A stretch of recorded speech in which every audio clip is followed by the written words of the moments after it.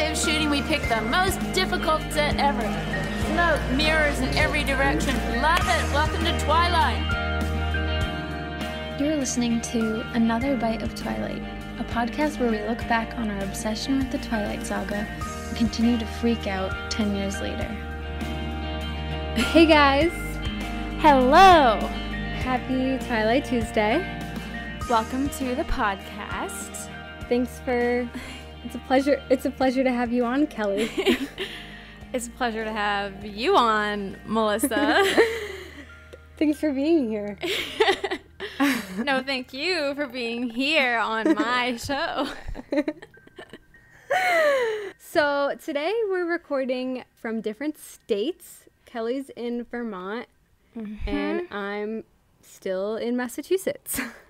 Yes, we are long distance today. It's sad. It's kind of weird. yeah, so thank you guys um, for listening and please forgive our audio if it sounds kind of crappy this week. Uh, soon, hopefully, we will be back to recording together. But yeah, I'm Yeah. spending the month in Vermont and I gotta say, very Twilight vibes here. Mm. Especially So the other day. And you were in Vermont the other day too. Yeah, but we weren't together. no. Vermont's just the place, guys. Vermont's the place to be. it's beautiful. yeah. But oh my gosh, I was driving around and it was misty and cloudy and I was driving past these mountains with trees all up them and there were these clouds rolling up the mountain and it really looked like twilight and I was Mm. freaking out. Yeah, it really pe- people I, that I was with was like, "Hey Mel, this looks like a good time for vampire baseball." Yeah. And the town I'm in only has about 3,000 people in it and it mm. feels like Forks. It'll be interesting to go to Forks and see if it's any similar to Vermont. True. I well, I did go to Washington. I haven't been to Forks Oh, yet, yeah. and I think it does feel a bit similar. It does have more of a old west feeling, but there's actually some Yeah. of that here. Some of the towns Yeah. here feel 1800s ish. That's a lot like where I was in Vermont. They do have like Walmart and stuff, but a lot mm-hmm. of convenience stores are just like what do you call those? General store? sto- yeah, very old timey. You know, people have like wood fire heating and stuff. Yeah. And the apartment I'm in, I'm with my friend Abby. Hi Abby. It's above a it's above a hardware store and behind it is a lumber mill, so it feels Ooh, really forksy. rustic. Oh, can I can I share something horrible about my week? yes. So it's not that important, but this other podcast that I listen to that I love so much, it's about the Kardashians. It was called Realizing Stuff. And I, I'm not like obsessed with the Kardashians the way I am with Twilight, but it's just comfort for me. It's just kind of mindless and I I just get I find myself getting wrapped up in it. I you know, Yeah. forgive me. But Mel.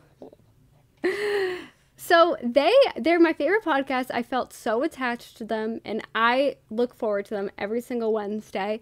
And mm-hmm. abruptly they just ended it with no goodbye episode, nothing. They just made a post on their Instagram saying, "Yeah, we're ending it." I actually inboxed them something a minute before asking like, "Hey, do you guys think North is photoshopped in this picture?" Like something stupid. And then they didn't respond to it and then they made like a story saying we're over they said like the podcast is over and then i responded what for real and they said yeah sorry we're done. And then my they just made a post saying that they were ending it That's so so abruptly. No it made me so sad because it made me feel like they didn't really they weren't as invested as the listeners were in the podcast. Mm-hmm. and i just think that's really weird like as a podcast host i feel like we're all in this together not to be cheesy but like i Yeah. would genuinely like i really care about you guys. I would just feel really shady doing something like that if that makes sense Yeah. We will not do that, just so you guys know. I'm sure those hosts were going through something. i looked and they unfollowed each other so i think they got in a fight or something Mhm. And maybe they weren't, you know, I don't know, Maslow's hierarchy of needs or something. They were so upset about that that they didn't really have the capacity to care because it seems like they lost a friend probably. But still, Yeah. we will not. That won't be happening. Also, Mel and I are cousins, so we can't really escape each other.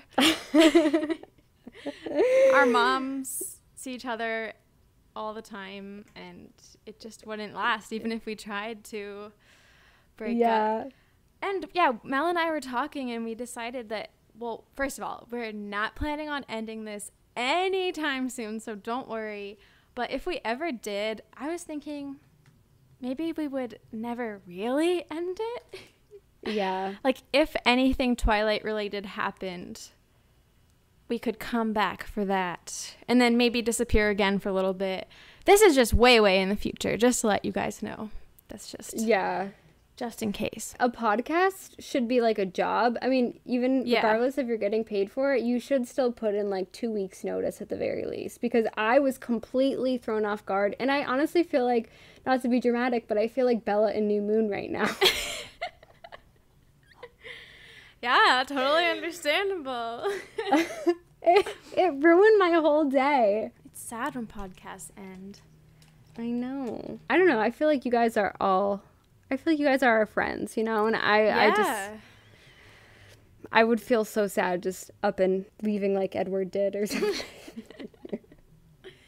yeah, we love hearing from you guys, and especially some people who have written to us several times. I feel like I know you, yeah. and I almost want to meet you, but that feels a little creepy to say. Yeah. No, we have like a handful of 15 or 20 listeners we talk to on the regular that we just feel like very mm-hmm. connected with on this journey together. Love you guys. So today, what are we doing today, Mel? Today we're discussing Eclipse the novel. The novel. Do you guys say eclipse or eclipse? That's a good question. I say eclipse. Me too. but sometimes I'll say eclipse. It's really Mm. interchangeable. In my neighborhood back home, there was a street called Eclipse Street, and when I first read the Twilight books, I just loved that, and I would ride my bike Oh. by that sign just to look at it. Because it was, I should should go. a- yeah, we should go take Yeah. a picture. Oh my god. Oh yeah. Well, we asked you guys how you felt about the book, and I feel like the answers are pretty varied. Friend of the podcast, Annika, mm-hmm. aka Hey Maven, said Eclipse is my favorite book and movie. I think it's where the romance reaches a fever pitch. I think the last time I read it was March, maybe. Cassia says Eclipse is on the second place after Twilight. I read it three times, I think. Last time was a month ago. Emma says it's my second favorite, and I'm currently rereading it for my 10th time. Wow. So it looks like it's a lot of people's second favorites. Do you think first being Twilight for a lot of them? I- I'm Oh, I guess we don't really know. Could be Breaking Dawn. Could be New Moon. We actually have no idea. yeah. Well, Savannah Savannah says Eclipse is second after New Moon. My ranking for movies and books has always been New Moon, Eclipse, Breaking Dawn Part 1, Twilight, and then Breaking Dawn Part 2. The order Jeff has to do with me being Team Jacob. I had hopes for him in New Moon and Eclipse even though I knew how things ended. Interesting. Okay, the Scarlet Shredder, Renee. Eclipse is my least favorite book. I think it is the most boring. I read it last in January. Hot take. Thank you, Renee. I like that. I like your honesty, I mean. Kaylee says, I think I've read it probably 30 times, but I usually skip the parts about the Cullens and Quileute's histories. And if you factor in all the Eclipse fan fiction I've read from E's point of view, the total is probably like 40. Wow. Okay, this makes me feel like a fake fan. I know, same. I think I've read it like three times. oh my gosh. But Wait, I, say- I, I want to get to that level, okay? I want to read it Yeah. a million times. Angel says, I think it's my second favorite book behind Twilight. The drama was good and we actually got a fight. Cough, breaking dawn cough. I reread all the books last summer, so it's been about a year since I read it, and I think I've read it three or four times. It's also so good. She's on our level. Mhm. It's also the book I have signed by Stephenie Meyer. Okay, I guess so she's not on our level. Us being below. Yeah. So it holds a special place in my heart. I also think the book did a slightly better job of making Jake seem like an option for Bella, whereas in the movies you always know she was going to end up with Edward. And sorry, this is getting long. Love you guys. How are you doing today? It has the best backstories in it, Jasper and Rosalie. I think I got everything. Wow. TTS Renaissance, Twilight Saga Renaissance. They have a great page, by the way. Said, I loved it, but I wish they didn't play up the whole love triangle thing, but whatever. Hmm. Interesting. Interesting because people love it or don't like it as much because of the love triangle. Yeah. And this was all on Instagram, by the way. If you don't follow us already, if you don't have Instagram, no worries. You can email us if you don't have email. Maybe borrow someone's to email us and find a way to mail us. I don't know.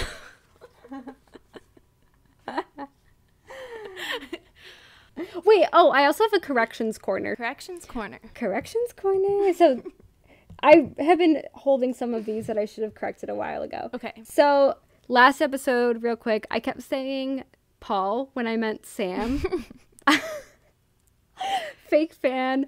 Uh, honestly, I think it's because we recite that line "Easy, Paul" so much, which is said by Sam. Yeah, so- we do. Oh, you're right. Oh, so a listener on Twitter, Deborah, informed us that the reason Bella isn't wearing her bracelets in Volterra when she's running through the crowd is because she removed them to cliff dive and never put them back on. Which, duh. I- I don't know how we didn't put that together. Yeah, I feel like an idiot now. Yeah. um, Well, she should have gone back and found them. I know. No, I feel Um, like Bella wouldn't do that. Jacob couldn't grab them. Yeah, Jake, what the heck? So also people have informed us that in that scene in Breaking Dawn Oh. Part 1 in the beginning, that Bella is wearing joggers, not sweatpants, not leggings, but joggers. We got a lot of feedback on that, and Yes. again, I feel humiliated. I had never heard of joggers. I didn't know what they were. I had, but I let me just defend myself a little bit. I usually think joggers are baggier on top, like in the crotch part.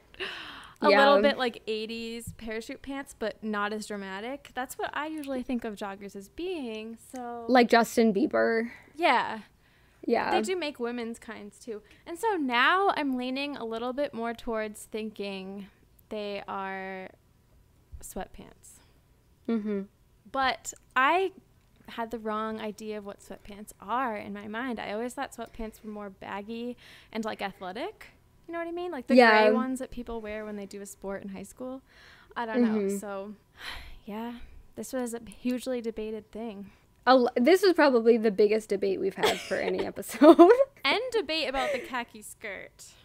Oh, yes. Yeah. Everyone has really good pictures in their head of like how they can justify it, but you guys know it's horrible. Yeah. Also, I should have said this forever ago, but it's been determined that um, you know, throwback to our Robsten episode that Kristen has the dogs. Mm Mhm. Mm, likely. I mean, they could still be split in custody, but it's uh, apparently Kristen got to keep them. Yeah, and I think in that episode we were not sure if she's with Stella Maxwell or not, but now it seems like she is, right? Yeah. Yeah. Another Definitely. correction. Poor Sara Dinkin. She was a hot a hot second there. Just a rebound. All right, so let's dive into the book. Okay. Wait, first you have anything about the preface? I guys, you guys know I love Twilight. You know I love Eclipse. You know I love you both. But I always have issues with the prefaces and they just seem kind of unnecessary to me and in this preface I can see that Stephenie is just trying to hype us up just to let us know there's going to be mm-hmm. action later in this book. Like, oh, the beginning might seem a little slow to you, but keep reading because there's going to be action. That's basically how the preface reads to me. Yeah. And it opens with a Robert Frost poem. I wonder if she doesn't really have anything good for the preface, but because she did it for the previous two books, you need that consistency and just need something. I've thought that too. Because it worked for Twilight, I think. Yeah. But now it just seems a little silly. I don't know. Yeah. So chapter one is called Ultimatum, and it starts with this letter from Jacob, mm-hmm. um, where he's crossed out many attempts of what he wants to say to Bella, and they're all very passive aggressive. I wrote that Very- too. so rude, and it's like you couldn't get a different piece of paper, Jacob, or at least, at the very least, cross it out more. Yeah, just scribble it out Yeah. so that you can't read He- it. He put one line through the words. Although I don't like it when people do that either. Yeah, or rip the paper, like rip the top off or something. I don't know. Yeah. Just have a sliver of a piece of paper. I think he wanted Bella to read that. yeah, I agree. Or Meyer just wanted us to read that. Yeah, yeah, probably. Did you see that Carrie commented and was like, I call it artsy? Yeah, my friend Carrie thinks it's just artsy. Uh, maybe. Maybe, yeah. Um, And then Annika said Jacob's poor. Okay. Yes, he doesn't have much money, but I know that made me feel like a jerk too. I think it was joking around, but but he could cross it out more. He could really, like, if you don't want someone to see it, you can just overlap. Maybe he doesn't want to waste the ink, though. maybe he should just call Bella then. Maybe he should really think it out in his mind before he puts it down. You're right. Maybe. write it write it in the sand. My next note is on chapter five. Charlie says, Wait, your "You're next supposed." Chapter five. I'm sorry. On page five. So nothing happens, and then chapter five. no, my next note is page 5 Mhm. Bella says to Charlie, as he's cooking spaghetti, "You're supposed to take the lid off first, Dad. Metal's bad for microwaves." And I'm just thinking, like, he's so old. How did he not get that? I know. I thought that too. I learned that when I was a little kid, basically. He's helpless. How has he survived life Yeah. this long? Well, because Bella hadn't been there. Like, did he? He, I guess he just ate at the diner every night, right? I guess so. He really didn't cook all those years. That's crazy. He never made spaghetti. With Yeah, he never put something. He's not even cooking it. He's putting it in the microwave. He's never used a jar of sauce. this is a new low. He's helpless. he cannot take care of himself. yeah, and he's the chief of police. It's kind of crazy. I know. He has a gun and he can't take care of himself. yeah. It's literally insane. I like how in this chapter Charlie wants Bella to have more balance in her life and asks about Mhm. Angela. Of course, he's a little biased and wants her to be with Jacob, but I still like that he Yeah. is saying that. And as I've said before, it's interesting that Stephenie Meyer knows that her narrator Mhm. Has an unbalanced life and it's just that's just the way she is. Yeah. I did think that she was being, in response to Charlie, Bella was being pretty rude and bratty. Yeah. Yes, I agree. Um, I think this is where she's like, well, Angela has a boyfriend too. hmm Just listen to your dad. She still sees Edward every night, so I don't get why the punishment is such a struggle for her to like not be able to see Edward for a few hours in the afternoon. She says, I still had to endure my punishment without complaining. it's not that much of a hardship. You see him literally all night. Yeah, I know. I guess just because she can't leave the house, but she would probably just go to Edward's house. I don't know. Yeah. Edward comes over after dinner in this chapter, and Charlie hates him. And it's mm. kind of sad, but also, I guess, deserved. Pretty warranted. However, I was thinking about this though. Like, what do you think it is that he feels he can hate Edward for just that because the story was that the Cullens moved away. So like if a kid's family moves away, he doesn't really have a choice. Is it just that he left Bella in the woods? You know what I Maybe. mean? Like what was he supposed to do if he is just a teenage boy and his family moved away? Like it's not like he did anything really. He just That's true. Maybe Left. maybe he thought that Edward should have attempted long distance. maybe Yeah. Um, but that's not for everybody. But I also think that Charlie, on a smaller level, could relate to heartbreak because Renee left him. So I almost, I don't think Charlie hates Renee, but I almost feel like he is placing some of that heartbreak on Edward and just, I don't know, like he, he's just angry that it happened and he needs someone to blame. That's true. But also, uh, because of Edward, Bella had to leave very abruptly too in the end of New Moon, and I think that kind of like set him over the edge. Yeah, definitely. It just, I guess it just seems like Edward causes trouble. So they're talking about graduation here, and like they're talking about whether they want to go to college. Mm-hmm. And I was wondering, is Edward gonna be the valedictorian? We haven't gotten to that part yet, but like, does he purposely not? That's such a good point. Who in the class is smarter than him? Yeah, in the he must be playing dumb somehow, but how the hell in the movies did Jessica become valedictorian when there are the Cullens in her Well, class? I'm- I'm assuming that she was class president because they give a speech too, right? Yeah. Yeah, that would make more sense for her to be the class president. Wait, I think she was the. I think she was a valedictorian actually. It just makes no sense. Like, yeah, Edward should be the valedictorian. Yeah, but I can't imagine him giving a speech.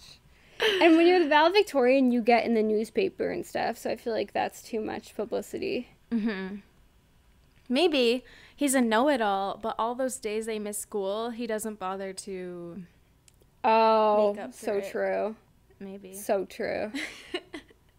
I know, and I doubt that he like asks for extensions on papers and asks if he can stay after school to retake the test that he missed.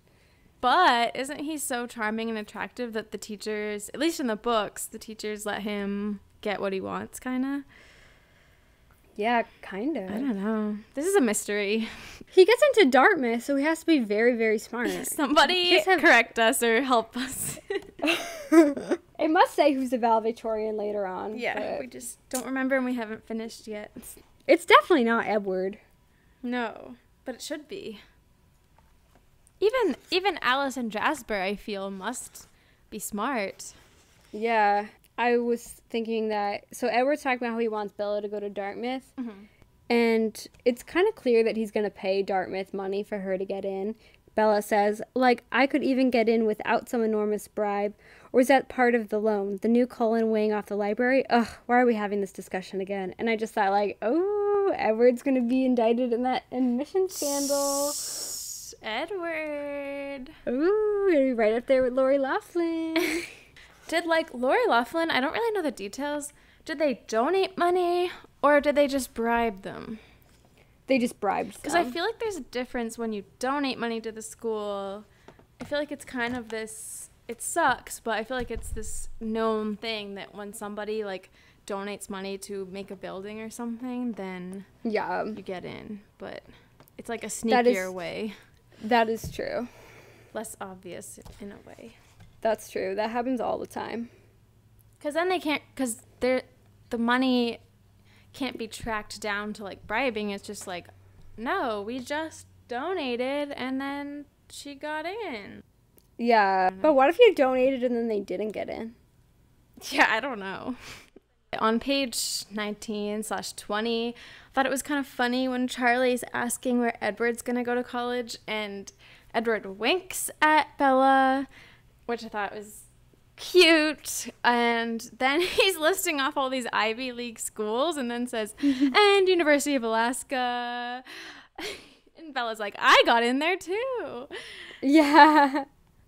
And then Charlie says something like, "But oh, Dart, like all these other schools, you wouldn't go to University of Alaska, would you?" And Edward says like, "Oh, Carlisle will be happy wherever I go." And I don't know, it's Yeah. funny. And he's so casual about it. He's like, "Oh, Harvard, Dartmouth, Princeton." University of Alaska. yeah. Then there's this part on page 22 where it said, Ed- but Edward was staring pensively out the window. And I don't know, it just seemed really moody to me. and I liked it. And then I just note I noted that um, I just think it's kind of cute that Edward wants her to go to college and use her potential. Unlike Charlie and Jacob, who don't really seem to care, it's very weird to me. yeah. And I was also wondering why doesn't Bella just call Jake or just visit him? And I think we I think I know why. It's just because the vampire werewolf problem. but I don't know, the, she could at least call the whole chapter. She's like, "Oh, I haven't heard from him." I don't know. Well, she uh, she is still mad at him about the motorcycle he- thing here, Mhm. but she also misses him. And in this chapter is when Edward is like very anti Jacob. He says, "You know it's out of the question for you to be around a werewolf unprotected, Bella, and it would break the treaty if any of us cross over into their land. Mm-hmm. Do you want us to start a war?" Which I thought is a little hypocritical and controlling because Edward knows that he is also dangerous Yeah. but he's for Bella's safety he's just like it's absolutely not allowed that you see Jacob at all. It is hypocritical, and I was going to talk about this later, but it's a weird situation because I was wondering, it definitely doesn't look good for Edward, and it makes me upset that he is acting this controlling. But I was thinking, like, let's say Bella is dating Jacob. Would mm-hmm. he be cool with her running off to hang out with her vampire friend who's in love with Abs- her? Absolutely not. He's not even cool with it now and he's she's dating Edward. I was just like, if the situation was reversed, I think it would be the same. I agree. also the fact that they are both in love with her it's very threatening Mhm. And he can read Jacob's mind so he knows exactly what Jacob is intending. hmm But Bella holds her ground in this chapter too. On page 34, she says to Edward, Edward says, No werewolves. And she says, I'm not going along with that. I have to see Jacob. But then Edward says, Then I'll have to stop you, which is not great. It doesn't make Edward look good. edward we're rooting for you edward oh Yeah. we were all rooting for you So, chapter two is called Evasion. This part is funny because Mike comes back to school hmm and Bella describes him as looking more like Edward. He oh yeah is like going out of his way to look like Edward. I always thought that was funny. At school, Alice is being really pushy to make plans now that Bella isn't grounded. And I thought it was kind of funny.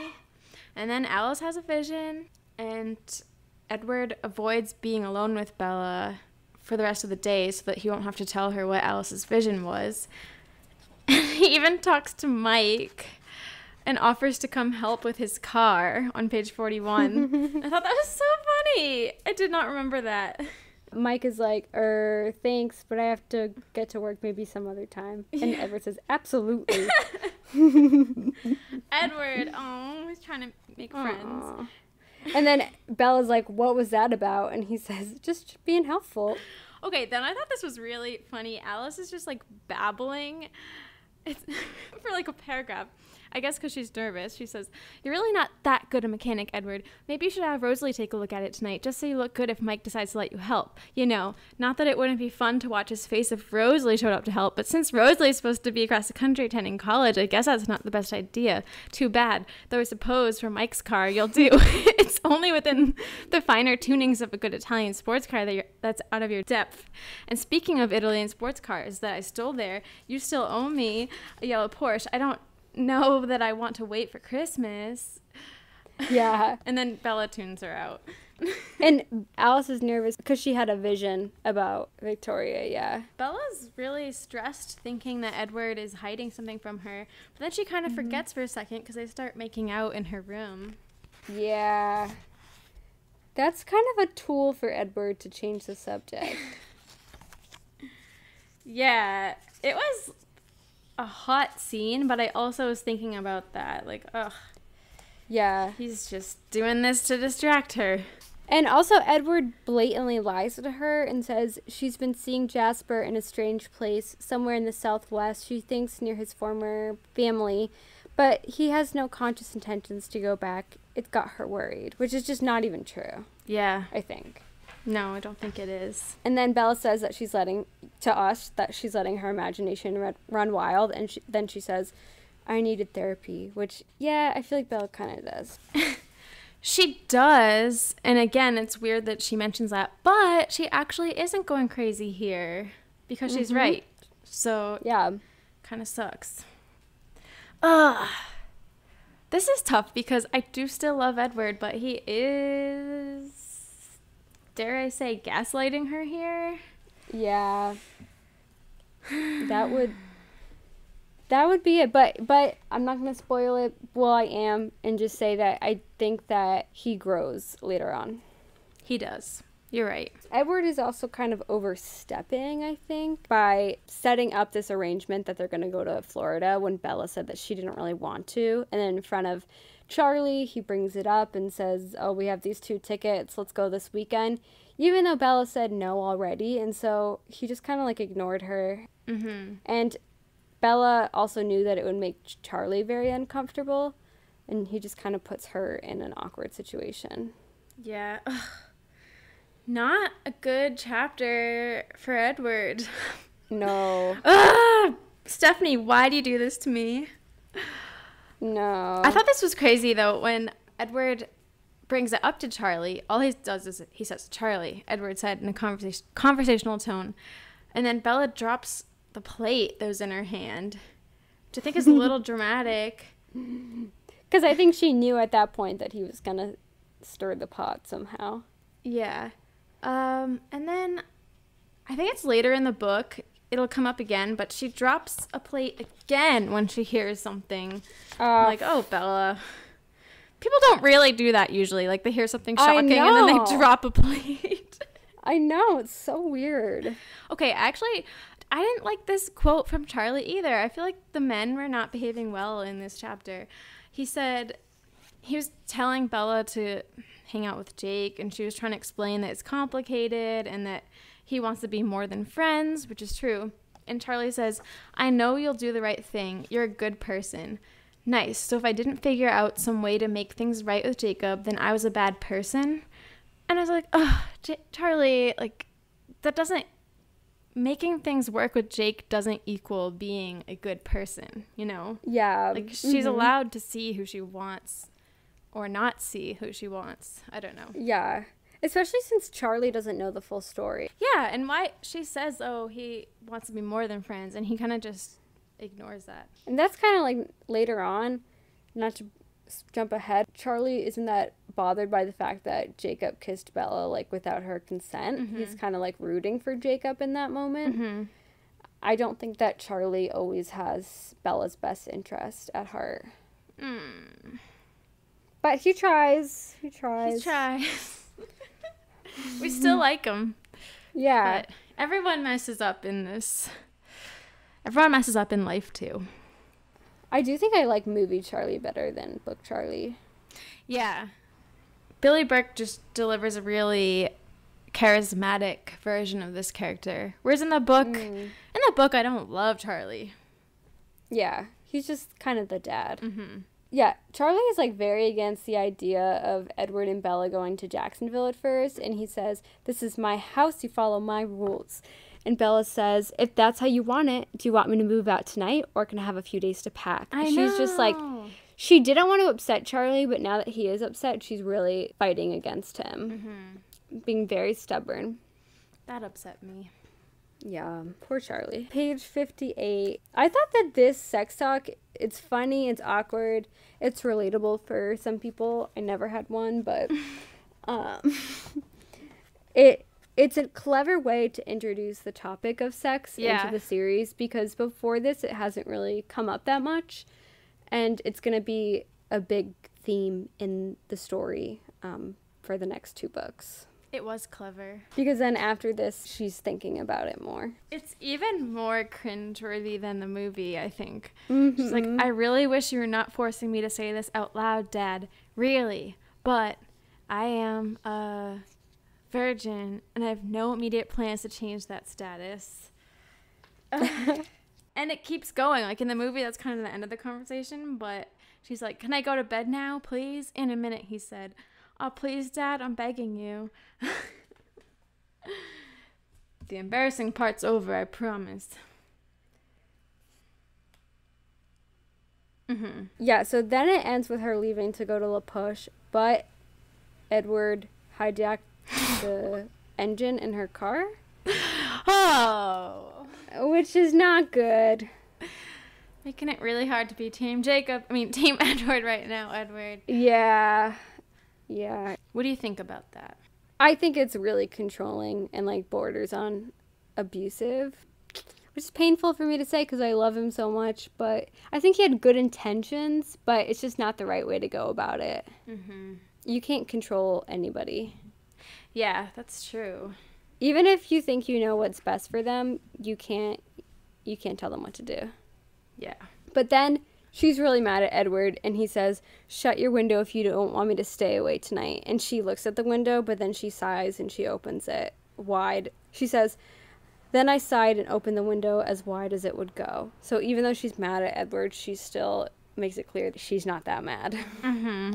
I feel like I would have maybe kept the window shut for one night Me too. just to teach him a lesson. Yeah, me too. But oh well. She doesn't play those games. I guess not. Yeah, you're right. you have to, you really have to though. yeah, you do. Love is game. Love is literally a game. It's a game that It's- people play, and it, it really is. And I I don't like believing that. Like I like to believe it's wholesome when it's real, but it's it's not. It's no matter what, it's always a game because there's always like a psychological aspect and of like validation and like even if you're fighting, it's a game because you want to believe that you're right. yeah. I don't know. I don't I don't know. I don't know anything. Yes, you do. So chapter 3 is called Motives. So Bella goes to visit her mom in Florida, Mhm. Floride, and Renee is on to Bella about her relationship with Edward. Yes. And again, we have the book being a little self aware about the nature of their relationship. And her mom's kind of concerned that they're too close or too intense. Yeah, she says the thing about magnets. Yeah, that they, when one of them moves, the other moves. But then Bella kind of gaslights her mom mm-hmm. and says, Don't tell me, I teased, forcing a smile. You're reading mysteries again, aren't you? Or is it sci fi this time? Yeah. And her mom blushes and says, That's besides the point. Found anything good? And her mom's basically admits she's reading sci fi. And then Bella says, You should stick to romance, mom. You know how you freak yourself out. And then her mom gives in and is like, I'm being silly, aren't I? But actually, no, her mom was right. And Bella, Yeah. Bella just manipulated her mom. I don't get Renee doesn't have to know the whole nature of their relationship that he's a vampire and yada yada to still have a valuable observation to share with Bella and I feel like I don't know why she totally blocks that out. Like she could have taken it to heart but she's so defensive about it. yeah, I know. Like she she could have listened to that and been like, "Oh, maybe you're right. Maybe I should do other stuff. Maybe this is a little bit too controlling and mm-hmm. which leads me to believe that part of her believes it's true because if she if she didn't then she wouldn't have changed the subject so quickly Hmm. So maybe all of this is actually kind of fueling the love triangle. yeah maybe Right now we're setting up uncertainty about Edward and how Mhm. great this really is. Yeah. yeah that's true even though jacob is just as controlling but but she's not as she doesn't have the same dynamic with jacob as she does with edward where it's it's almost a little bit too intense with edward for her and jacob is a little bit more casual less stress Sometimes. when she, when he's Yeah. her Jacob, Yeah. and sometimes not her Jacob. Yeah. I thought it was, despite the fact that I am a little bit angry with Edward, I thought it was cute when they return home. He says, "We're home, Sleeping Beauty. Time to awake." It's like, oh, that's cute. Yeah. Earlier in this chapter, Bella's thinking about the sex talk she had with Charlie, and she says something about how she says, I'd been the one giving her, meaning Renee, that lecture time and time again in the last 10 years. Oh, like, yeah. What? Bella, you were eight and giving your mom the sex talk? What was Renee, like, she have guys over the morning after every day? Or Yeah. Which, like, mom, be safe, please. Mom, Take your pill, mom. Yeah, what the heck is that supposed to mean? Mom, use a condom, please. I know. I'm surprised that Renee, if she was so floozy, that she hasn't gotten pregnant more times. I was just gonna say that. Yeah. so floozy. I feel like Bella really should have siblings just by Renee's track track record. mm-hmm. And the thong in the movie, yeah. Yeah. Yeah. Because clearly, if Bella, her eight year old daughter, has to give her the sex talk, that Renee is a little bit careless when it comes to this kind of thing. Yeah. Clearly, she needs to be told about safe sex. Bella loves her mom, but also kind of thinks lowly of her. Do you get that feeling? yeah, she doesn't have a lot of respect for her. Which I feel a little bit bad for Renee about. Like, just because Renee is a little bit eccentric or whatever doesn't mean she's dumb. I mean, she seems like a perceptive lady. She just has a lot of interests and doesn't really like to focus on just one thing. And it's not bad per se, it's just different. Yeah, I wonder how much that's like Renee is out there and uh, irresponsible, and how much of it is like Bella being like kind of embarrassed by her mom, Mm, maybe. the way kids usually are. Yeah. so Jacob calls in this scene when they get back because he heard that Bella went to Jacksonville, and he doesn't really have anything to say. He just says like, "Are you gonna be in school tomorrow?" And she says yes, and he says, "Okay, bye." oh, yeah. because he wants to show up because he wants to see if she's human. Yeah. And then I thought this is funny. Immediately after that, Bella's telling Edward, I think I think he was checking checking to make sure that I'm human, I mean. And then mm-hmm. she getting she's getting kind of upset about it. And Edward and Bella start hugging really intensely. and then Charlie walks in and goes, ahem. Yeah. That's funny. So then when they're at school and Jacob shows up, you know, they're really thrown off and mm-hmm. Edward says, "You could have called us." In a steel hard voice. Sorry, Jacob answered, his face twisting into a sneer. I don't have any leeches on my speed dial.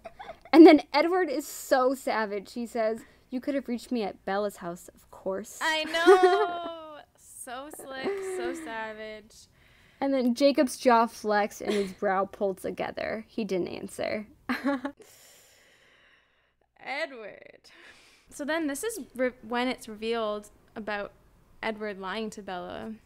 Mm-hmm. because Jacob mentions how like oh if you if you ever get on our land again and Bella's like what? She has no idea what he's talking about. And she realizes that the Cullens were chasing Victoria and Emmett accidentally got into the Quileutes land and that's what Edward was covering up with the Yeah. Mm-hmm. And Bella's pretty mad about that, understandably. Mm-hmm. Jacob's being a real dick here, though. He's purposely thinking about things to upset Edward. Oh yeah. Um, we don't find this out till later, but he's thinking about how heartbroken Bella was, and it's giving him a lot of joy doing this, which I think is just like kind of exploiting Bella's most hurtful times for his own. Like, even if that's hurting Edward, which is a cruel thing to do, Mm-hmm. Jacob thinking about those things should be too painful for himself, too. You know, like yeah, he shouldn't be using that as a weapon. But again, he's playing the game. He's Yeah. doing what he has to do Yeah. to get the girl he loves. So then a teacher comes over because Jacob looks really threatening, to, and like all the other kids are watching. Mm-hmm. And then the teacher threatens to call the police. And it's Bella writes Jacob's little smirk became a full blown grin, and I knew he was picturing Charlie showing up to arrest him, which I thought was funny. Like, could you imagine if they did call the police and Charlie just shows Yeah. up? That would have been kind of cool. Yeah. the teacher says, Mr. Cullen, I expect you to ask your friend to refrain from trespassing again. And then Edward says, He's no friend of mine, Mr. Green. but I'll pass along the warning. Savage again, Mr. Cullen. Sassy. So in the next scene, they are passing notes while Mr. Berty recites a frost poem, um, and it shows us their handwriting. Edward's is perfect cursive, very fancy. Mm-hmm. Bella's is a little more curly and it's not bad, but it's not great. yeah. And I think it's cute that they're passing notes back and forth. He tells her the whole story about what happened this weekend, and then they kind of start mm-hmm. making jokes. It was very cute, but also she forgave him too easily, I think. By the end of the chapter, by the end of the note passing, she's over it and fine with the lying and stuff, which is just a little crazy. Yeah. I mean, Bella doesn't, even against Jacob, Bella doesn't hold any grudges, really. Yeah, she doesn't. Which sometimes she should. Well, what's that girl? She hates Lauren. She Yeah. holds grudges against her. She does have a grudge against her, yeah. Which Lauren hasn't done much to you compared to some Yeah. I know. Then, But or Rosalie, she like True. she's so forgiving of Rosalie. Like she's so quick to be like everything's fine, Rosalie. Yeah, I know. I would just- definitely have a grudge. At the end of the chapter, Bella overhears the boys, like Mike, Tyler, Ben, Austin. I feel like we've never talked about Austin, but Yeah. he's just a kid.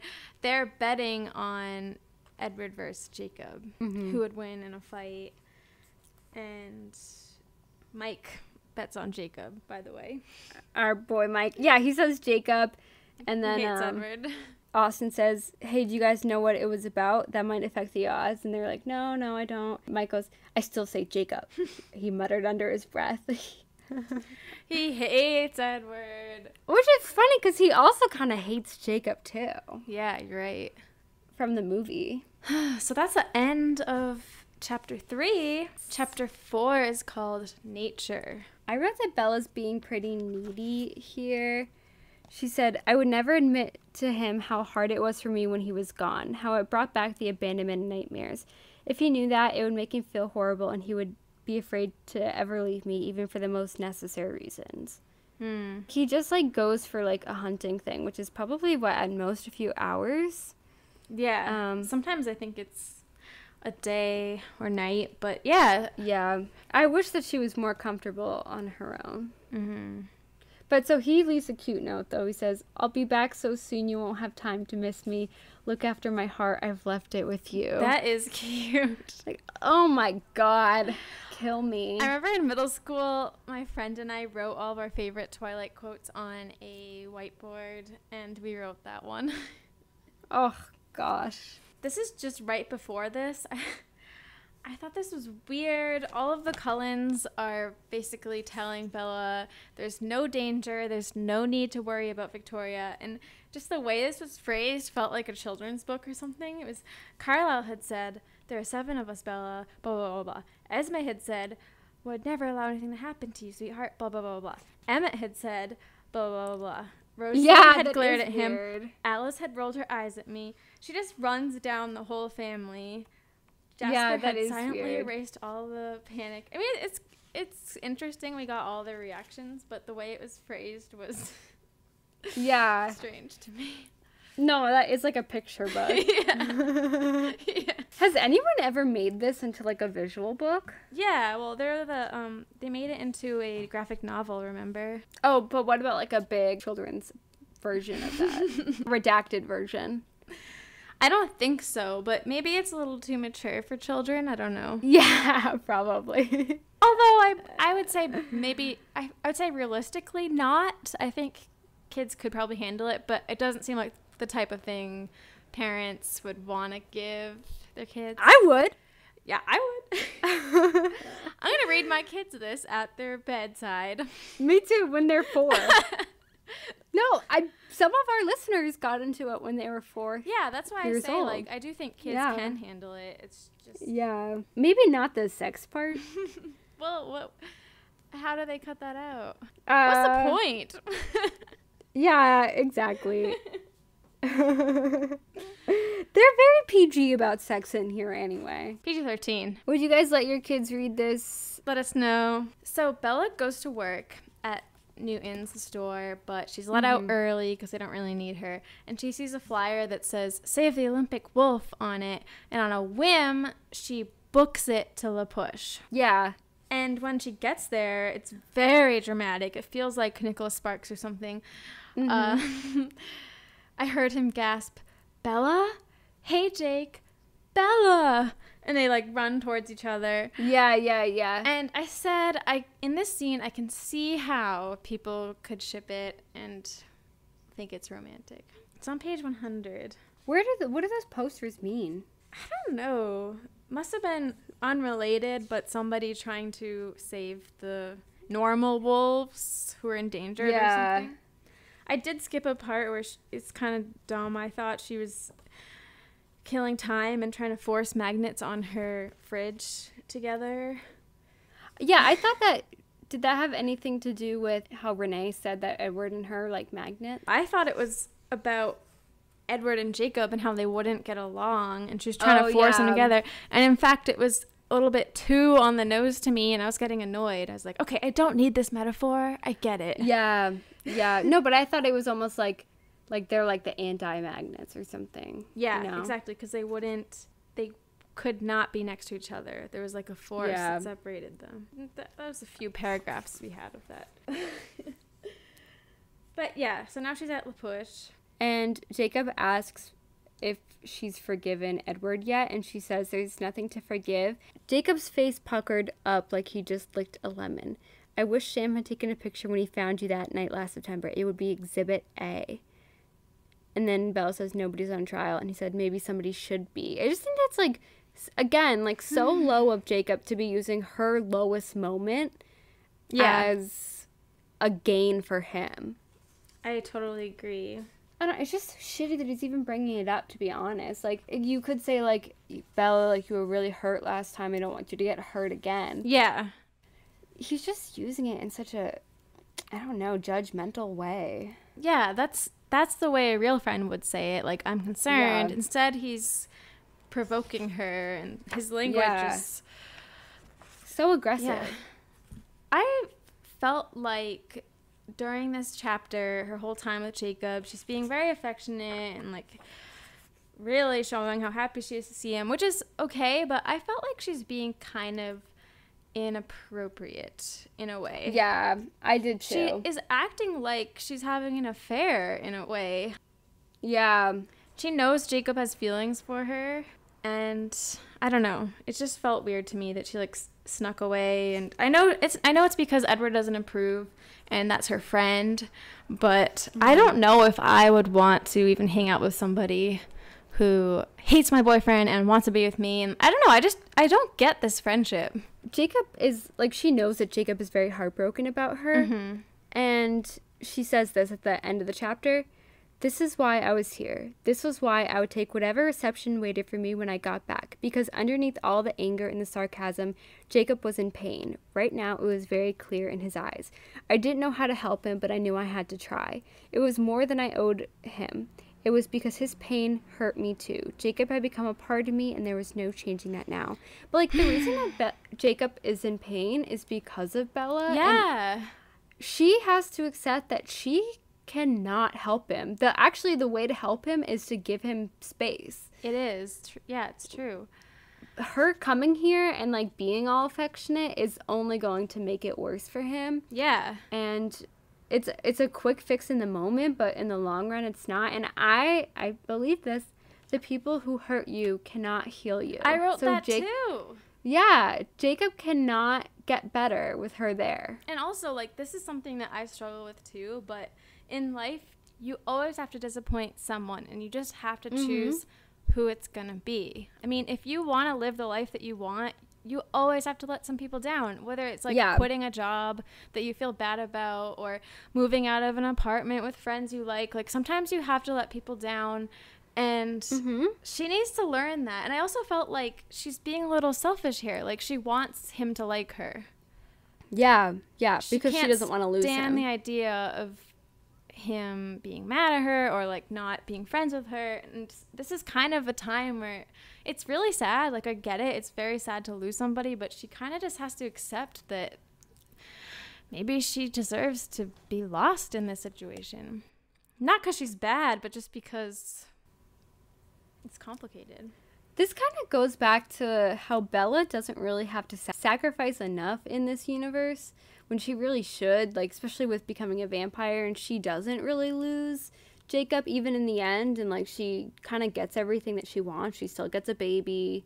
like, she even gets to have a relationship with Charlie and, like, maybe Renee later down the line. I don't know. She, she should have some more loss. Yeah. Well, here we see like t- the two sides of Jacob again. She keeps saying that like when he's nice and then when mm-hmm. he's not. And Yeah. I thought he was being super annoying on page 110. He basically implies that she's dating Edward because he's rich and attractive. Which, I mean, maybe to Jacob's defense, I can see why you would think that, I guess. And then Bella mm-hmm. says, I love him, not just because he's beautiful or because he's rich. I'd much rather he weren't either one. It would even out the gap between us just a little bit because he'd still be the most loving and unselfish and brilliant and decent person I've ever met. Of course, I love him. How hard is that to understand? It's impossible to understand. So they go back and forth bickering. Yeah. And then at the very end of the chapter, he says, I feel human. I don't know. And she says, Oh, Jake, I whispered, reaching for his hand. I'm like, Bella, you're leading him on. Yeah. Why are you saying that? Oh, Jake. Also, I, I was just kind of fed up with just how hateful Jacob is towards Edward in this chapter. And just how hateful the wolves are in general. Like, Jacob says how Sam is disappointed in Bella because he says he thought you were the one person in the world with as much reason to hate the Cullens as he does. Sam sort of feels betrayed that you would just let them back into your life like they never hurt you. And it's just like. Sam Betrayed? Bella. Yeah. Yeah. They don't even have a relationship to be betrayed about. Yeah, and it's just it's just so hateful. Like they don't even know the Cullens, and I'm over it. Obviously, the Cullens are fine if they haven't killed any humans. Like, you guys know this. yeah, Ay, ay, ay. they don't trust it. so chapter five is called Imprint, Yikes. which we already know what that's gonna be about. I so we know it's going to be about imprinting, Mm-hmm. but I just had a note. I said, wouldn't it be cool if right now Jacob imprinted on a random girl? Oh my god, that would fix everything. That'd be funny. just like, oh sorry, Bella, I imprinted on the lady at the grocery store. yeah. Funny. oh sorry, Bella, I re- imprinted on Mike's mom, yes. Mrs. Newton. Yes. Lauren. Yeah, Lauren. Who else? Renee. Uh, Renee. Oh my God. You know Renee would go for it. she would. I felt like Bella once again is being too flirty here. Me too. On page one, 118, she says, He was so close I could feel his warm breath. I reached up so casually to take his hand away and free my face, but wound my fingers through his so that he wouldn't hurt his fe- so that I wouldn't hurt his feelings. He smiled and leaned back, undeceived by my attempt at nonchalance. Because he was holding her face in his hand, but like Just running your fingers through his is just as flirty and suggestive. She's cheating. Yeah. Emotionally. Yeah, it's too much. It's too much. Yeah, so Jacob's telling her about the wolves and explains a story about Sam imprinting on Emily when he was dating Leah. Yeah, I didn't realize that Leah and, and Emily were cousins. I forgot that. Scandal. How how would you feel if I ended up with someone that you loved? Uh, I would be hurt by that for sure. yeah. What about you? I'd be shocked. I'd be, yeah, I'd feel betrayed. Yeah, yeah. But Leah's pretty strong about it. She's actually going to be a bridesmaid in the wedding. That's nuts. yeah, Oof. Wow. that's hard. But like, it's interesting because Jacob explains that as the reason why Sam hates the Cullens so much, and it's like because when the Cullens came, that's when he phased and that's mm-hmm. when he imprinted. Mm-hmm. But I don't really understand that because he did find Emily for that reason. So yeah. was wouldn't he be kind of thankful for the Cullens I know. because of that? He's like, oh, you broke up my relationship. Yeah, you hurt Leah, but like, isn't he happy that it worked out that way? Yeah, that doesn't make sense to me. Yeah. That seems like misdirected anger. yeah, like trying to put his guilt on someone else. Yeah. I I gotta say, I don't like this Emily stuff for the imprinting. Ugh, Oh, no, no, no. Me neither. it's It's not good. it's It's even because I used to think that the women reciprocated the feelings. Mm-hmm. Bella says, How did Emily deal with this if she was so close to Leah? And he says, She was real angry in the beginning, but it's hard to resist the level of commitment and adoration. I wrote in my notes, um, no in capital letters. Like, yeah. yes, you can resist commitment and adoration. I would be. I don't know. I feel like you need to be attracted to and like the person. You can't just have someone show up and be really committed and adoring you and be like, okay, Yeah, exactly. no. It's like- turns me off. Yeah. It's like he's guilting her into it. Yeah. I don't know. To me, that's less attractive. If someone's very, very persistent and can't take no for an answer, I I don't care. Like even if you're the hottest guy in the world, I'll think that like that desperation is really unattractive. Yeah. I didn't. I wish that the women kind of imprinted back. Yeah. I don't get why they don't. I- Ugh, it makes it really uncomfortable for me. On page 119, I wrote, Grow up, Jacob, but I can't remember what part I was talking about. Oh, Bella says it. Jacob says, You think I should be as forgiving as you are about the Cullens? We can't all be mm-hmm. saints and martyrs. Grow up, Jacob, Bella says. I was like, Yes. And earlier in the chapter, she said to him, I think talking about Edward, she said, At least he can be a grown up about this. Which is a little unfair because Edward is a grown up technically. True. That's the age old question though. Do they are they stuck as teenagers or, or I mean Edward does seem like old, so Yeah. I think that answers the question. And also, Jacob reveals to Bella that he isn't aging while he's a werewolf, which is kind of dumb. I don't like it. Also, how does he know that? Because it's not like much time has passed. True. Well, well, well, it comes out later during the Quileute Legends story, but Oh, yeah, yeah, yeah. Bella freaks Oh, yeah. out. She's like, "Y- "You are not aging." I growled through my teeth. She freaks out. Damn Yeah. it. What kind of world is this? Where's the justice? She says. Shut up, Jacob. Just shut up. This is so unfair. Yeah, she's so upset about this. I just had a little more to say about the imprinting and just how fucked up it is that mm-hmm.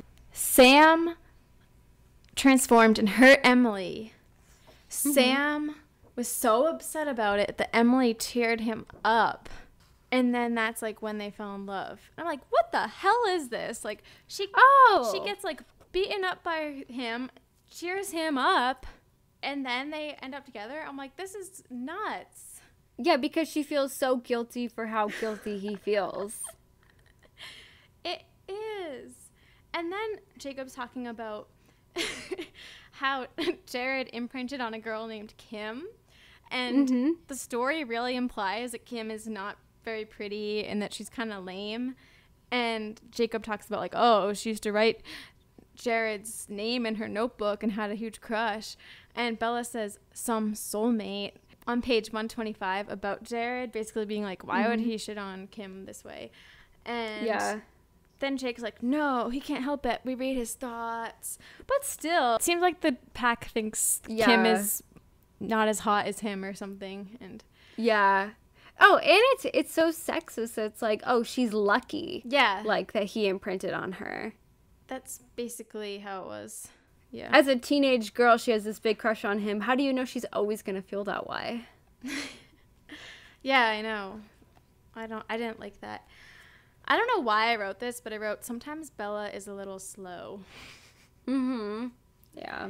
Just with just getting things. I don't know. Yeah, she always assumes like something way off too. When she's like, "What were you thinking about that upset Edward?" and Jacob's like, "You, me? What about me?" I'm like, "Obviously, I don't know." Yeah. What do you think he was thinking about? Yeah. And I wrote in my notes, she forgives Jacob like five times recently. It's getting old. Yeah. And then Jacob criticizes Edward for hunting. And that weirded me out because I was like, doesn't I'm guessing the wolves hunt when they're in wolf form, or at least Sam did, because apparently Sam was a wolf for like two weeks or something. And it's not like Jacob's a vegetarian, so I don't know why he Yeah. is like judging him for hunting yeah, animals. Bella says, I'll come back the next time he's away. Away? Jacob rolled his eyes. That's a nice way to describe what he's doing. Disgusting parasite. yeah. No, I mean, Jacob's own dad hunts all the time with Charlie. What, how different is that? I don't get it. Very frustrating chapter. Yes. A lot of this can be frustrating. but it's still fun. Yeah. so the next chapter is chapter six, Switzerland. Yeah, this part is also not a great Edward part. Yeah, I Um, remember we mentioned this in our feminism episode in the beginning. Yeah, so Bella is leaving La Push and Edward is kind of on her tail. And she says, came out of nowhere. One minute there was nothing but bright highway in my rearview mirror. The next minute the sun was glinting off a silver Volvo on my tail. Ah, crap, I whimpered.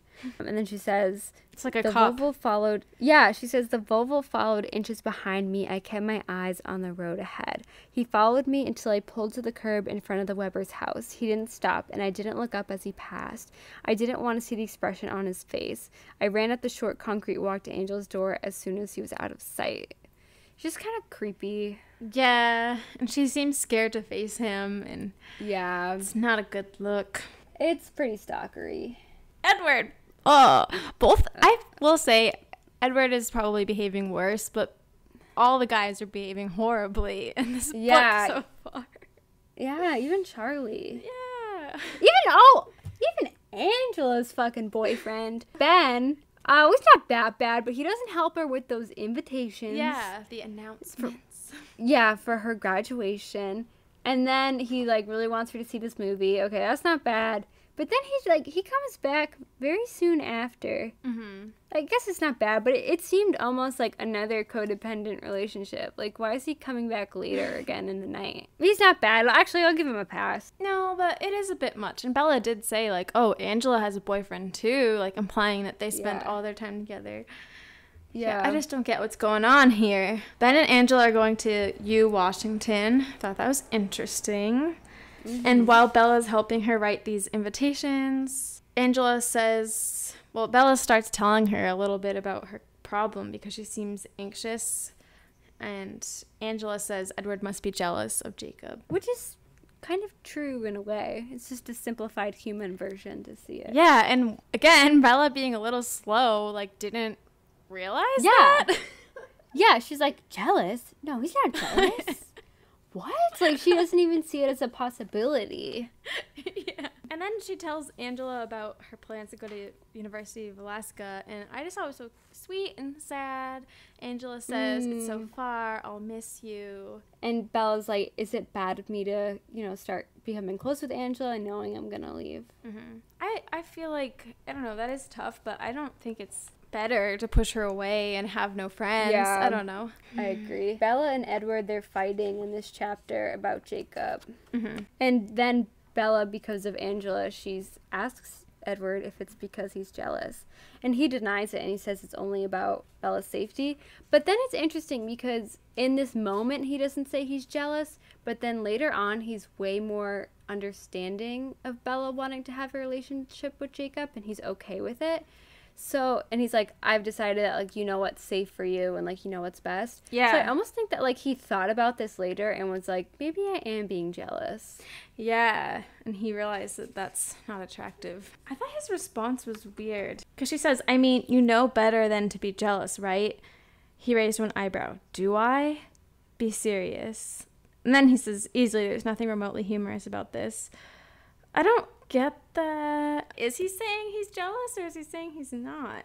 I don't know. He doesn't say he's jealous, but then he, like, backtracks. He Yeah. kind of hints at the fact that he might be, but then he backtracks and says, no, it's just about your safety. Yeah, because she's like, you know, you shouldn't, you know, you don't need to be jealous. And he's like, do I know that? He's playing the game. He's playing it. He's not, he's not giving up so easily. yeah. Edward goes hunting, right? Mm-hmm. Yeah. And Alice picks her up from work for a slumber party. Yeah, so Bella was she was gonna see Jacob. Mhm. And she calls it kidnapping. Mm-hmm. It is kind of kidnapping. Yeah, it is. There's no way she could escape Alice. Yeah. I thought it was interesting that the all the guy vampires, the guy vamps are going hiking in Northern California. It's pretty far away. I forgot that California was ever even mentioned in these books. So I know. interesting. It's weird that Edward bribed Alice by buying her the Porsche, the same Porsche from Italy. Yeah. Cause like, couldn't Alice just buy that herself? Yeah. I think I think they like to d- use gifts and play games with each other. She's like, he's gonna return it, Bella. He's gonna return it. Like, yeah, then you could buy a different one. You play the stock market all the time, or, or play the lottery all the time, and True. I think she does the stock market too, yeah. yeah. And when she's at the Cullens house for the sleepover, she calls Jacob and it makes it oh, this is really bad. It makes it sound like Edward is her dad and grounded her or something. Yeah. She says on page 148, I'm kind of being held prisoner. And they're like joking about it, but oh, like that's your boyfriend. I don't know. I don't like it. Yeah, and also if she wants them to get along, she shouldn't like she shouldn't tell Jacob that about Edward. Yeah. He's only gonna make him hate him more. Yeah, what is her strategy here? What is she She's- doing? Yeah, she's giving him fuel. it's very weird. And, and that's kind of like I don't know. Sometimes when you have relationship problems like that, you should just kind of keep it keep it yourself. Yeah, I agree. So she leaves Edward a voicemail and she says, You are in trouble, enormous trouble. Angry grizzly bears are going to look tame next to what is waiting for you at home. Oh, that's kind of funny. Yeah, it's funny thinking of Edward like listening to his voice. yeah, it is. And uh, Bella sees that there's a bed in Oh, yeah. Edward's room, but she doesn't sleep on it. She sleeps on the couch still. Yeah, she's being stubborn. So she's going to bed. She's lying there. And then Rosalie knocks on the door Oh shit! mm-hmm, and says, Can I come in? And that's how the chapter ends. Things are about to get crazy. Yep. Not really. so this is chapter seven. Unhappy ending. So much for my. What is it? The Avril Lavigne so song? much for my happy ending. Ending. I might be wrong, but I think that song, like you know, in the illustrated guide, how Stephenie says songs that inspired each chapter. yeah? I think that song might be one of them. Really? I, at least one Avril Lavigne song is on there for one book, but I don't know what song it is. Oh my gosh. So this chapter, Rosalie tells her backstory.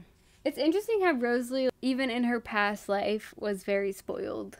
Yes. And she just was very privileged. Like, she says that she was raised to believe that poor people during the Great Depression brought their poorness on themselves. Kind of like knew she was more beautiful than everybody else. Was very aware of how people watched her. Yeah. And was just very, very uh, confident in herself and shallow. hmm And she said that she had everything except the one thing she wanted was to be married and have kids. And then she was engaged to this rich bachelor, Royce King. And then uh, she was really happy about that and even pitied her friend who was married to a poor guy. I mean, she's quite a jerk back then and still kind of is. But Yeah. and she gets into the sad part about how one night Royce was drunk with his friends and they like attacked her basically and left her to die. I feel like they could have raped her too. I think they did, but I was wondering, I just don't really get it. Like why would Royce rape and kill his fiance? it seemed random and was it just like an ac- I mean not an accident, but was it just he was an angry drunk and just it seemed like he was proud to be engaged to the prettiest girl in town or something and it just Probably he was an ang- angry drunk. Probably a lot, you know, he's very entitled, very powerful, and it's just about power, and he's used to getting what he wants. And yeah. I, they did it as a group, you know, probably trying to impress his friends almost. Like, look, I have the most beautiful girl in town, and look at all this power I have over her. True. I don't know if he meant to kill her. I'm guessing if they got married, this is how we would have been in their relationship. True. I mean, it's sad everything that happened, but in a way, she kind of was lucky to not have to go through with that marriage because it probably would have been horrible. He would have killed her eventually. Yeah. So she's lying there to die in her story, and Carlisle shows up to turn her. And I thought it was interesting that Edward's like, What were you thinking, Carlisle? Rosalie Hale? And Yeah. Carlisle says, I just couldn't let her die. It was too much, too horrible, too much waste. And he says that again. It was too much waste. I couldn't leave her. What was a waste? Like, what about her? Because. Edward says people die all the time. Yeah. young people die all the time. So what? What is it a waste? Is it just because she's beautiful? That's what I think. Yeah. It's too much waste. He maybe Carlisle had a thing for Rosalie. Not this now, too. yeah. Carlisle has a I thing for everybody. know. Yeah, Carlisle's a little creep. Don't say that. no, I'm joking, guys.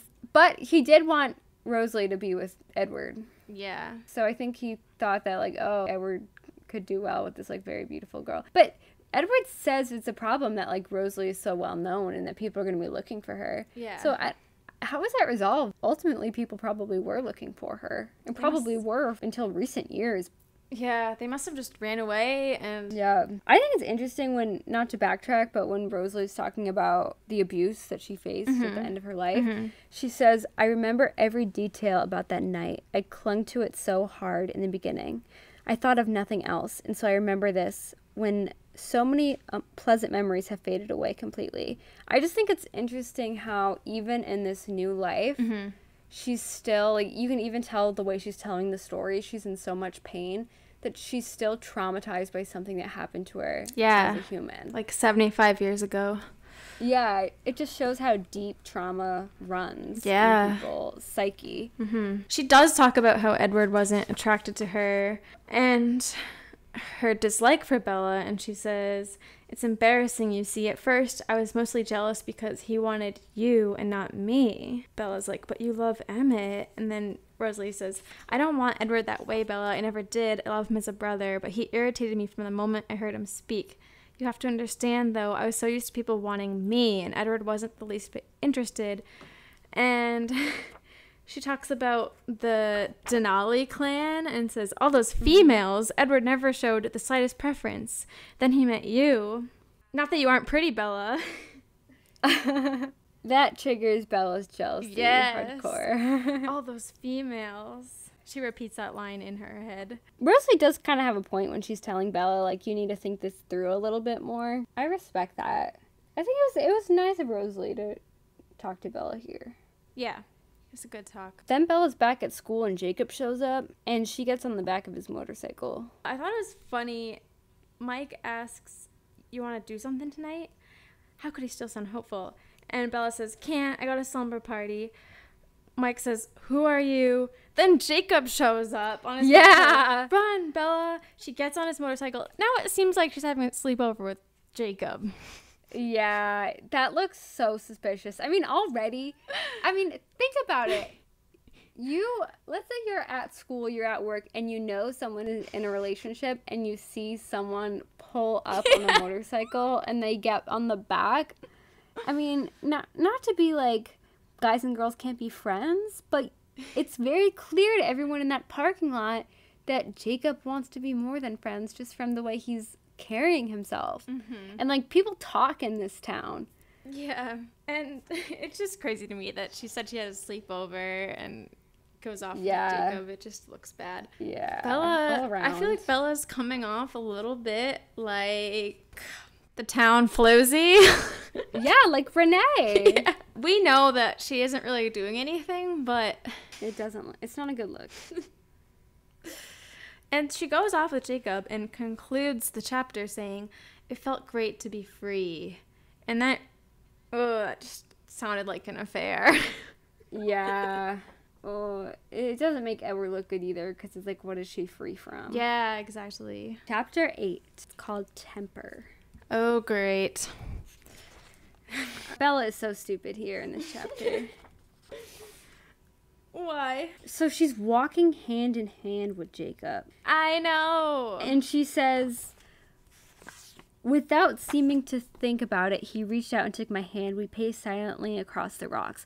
I thought of how we must look, look walking hand in hand down the beach, like a couple, certainly, and wondered if I should object. But this was the way it had always been with Jacob. No reason to get worked, ab- worked up about it now. Like, come on, Bella. I know. It's not right. You know how he feels. You know.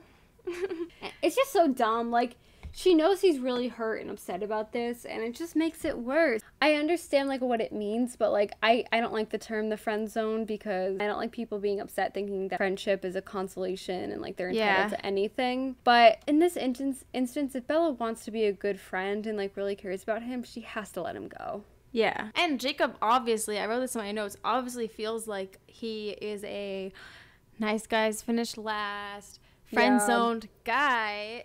And if he felt differently, sure, but it's not sustainable. Nope. On the same page, this is where Jacob tells her that Quil imprint on, imprinted on a two year old named Claire. Oh my and gosh. Jacob says he'll just have to be patient for a few decades. That was so so gross to me. I know. Even though Jacob says it's not like that, like he'll be anything that Claire wants him to be, then why are you saying a few decades? Yeah. Why are you saying that? It's like you are expecting it to be romantic and sexual. I was happy at least that Bella described herself as horrified and Yeah. was upset and she said, "But she's a baby." But yeah, I I felt the same way. Like he says he can be a protector or a lover or a friend or a brother. And I said in my notes, seems like it's always supposed to be lover though. Yeah. And there's a huge difference between lover and brother. So I don't get how the same person could be a brother or could be a lover. Like yeah. what? No, it doesn't work that way. And and then he says, Quil be the best, kindest big brother any kid ever had. There isn't a toddler on the planet that will be more carefully looked after than the little girl will be. And then when she's older and needs a friend, he'll be more understanding, trustworthy, and reliable than anyone else she knows. And then when she's grown up, they'll be as happy as Emily and Sam. A strange, bitter edge sharpened his tone at the very, very end when he spoke of Sam. Doesn't Claire get a choice here? Bella asked. Of course, but why wouldn't she choose him in the end? He'll be her perfect match, like he was designed for her alone. And I don't like that. Yeah, it's it's like there kind of is no other option than being a lover, even though they set it up like it's not like that. Yeah. Also, doesn't she get t- a chance to have, you know, boyfriends in high school and college? You know, meet all these different guys. Like that's a important part of life, I think. And Yeah. And oh gosh, if I was a parent of a child, like I don't understand how Bella's so understanding like comes to be so understanding of that with Renesmee because it's creepy. Even if it's if it's not sexual, this grown adult should not have a very close connection and bond with a young girl. It's just not Yeah. appropriate that he's not related to. that he's not related to. Also, this whole thing is of imprinting is so heteronormative. Oh yeah. It's like not even considered that they could ever imprint on someone of the same sex. No. Sort of changing subject a little bit, but she asks him if he's imprinted, and he says, No, I haven't. And then he says, But I'll never see anyone else, Bella. I only see you, even when I close my eyes and try to see something else. Ask Quil or Embry. It drives him crazy. I'm like, Oh my gosh. She says, Jacob, you haven't really seen much of the world. You haven't really seen much of the world, less than me, even. And I thought that was kind of a diss, Yeah. but It's true made though. me a little it's happy. True. And yeah, Jacob professes his love, basically. Yeah, he's Bella says, maybe I should go home. Yeah, she should. And he says, no. I thought it was so annoying how Jacob brings up the motorcycles and I was like, "We should go riding." And she said, "I don't think I'm allowed, you know, because of Charlie and Edward." And Yeah. he says, I won't tell anyone. Like, uh, we cannot trust you. Yeah, you already did. yeah. He, he later apologizes for that, but Yeah. oh, too little, too late. And then this is when he is kind of asking about her turning into a vampire. Jacob says, Well, we still have a few years. Can't we be friends until we're out of time? Meaning, like when she becomes a vampire in a few years. And she says, Years? No, Jake, not years. Weeks is more accurate. And he freaks out and says, You'd be better off dead. I'd rather Yeah. you were. I wrote, he's a psychopath. That's a horrible thing to say. it's horrible and she's very upset and she says maybe i'll get lucky maybe i'll get hit by a truck on my way back and she leaves she gets on her motorcycle and rides to the Cullens house Mm-hmm. Yeah. Wait, one thing I had to say before then is mm-hmm. Jacob is like, I wish we could go back to how it was before, like when Edward was gone. oh yeah and he says another era, a happy, a happier one. And I think it's weird that he would say that because Bella clearly wasn't happy in that time, and so she says, "I couldn't agree with him. This was my happy era now." But I was mm-hmm. surprised to realize how many things I missed from my personal dark ages. Blah blah. I don't know. It's like weird that he would say that that's a happier one, but also like that's his reality, and it just Yeah. makes you realize that they're both just living in different realities right now, and they, They are, are. not aligned whatsoever.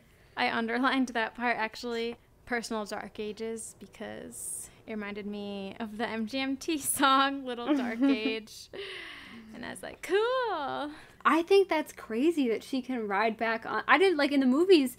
She just tries the motorcycle once and then she gives up. yeah she's good at riding a motorcycle now That's so badass. That is pretty badass.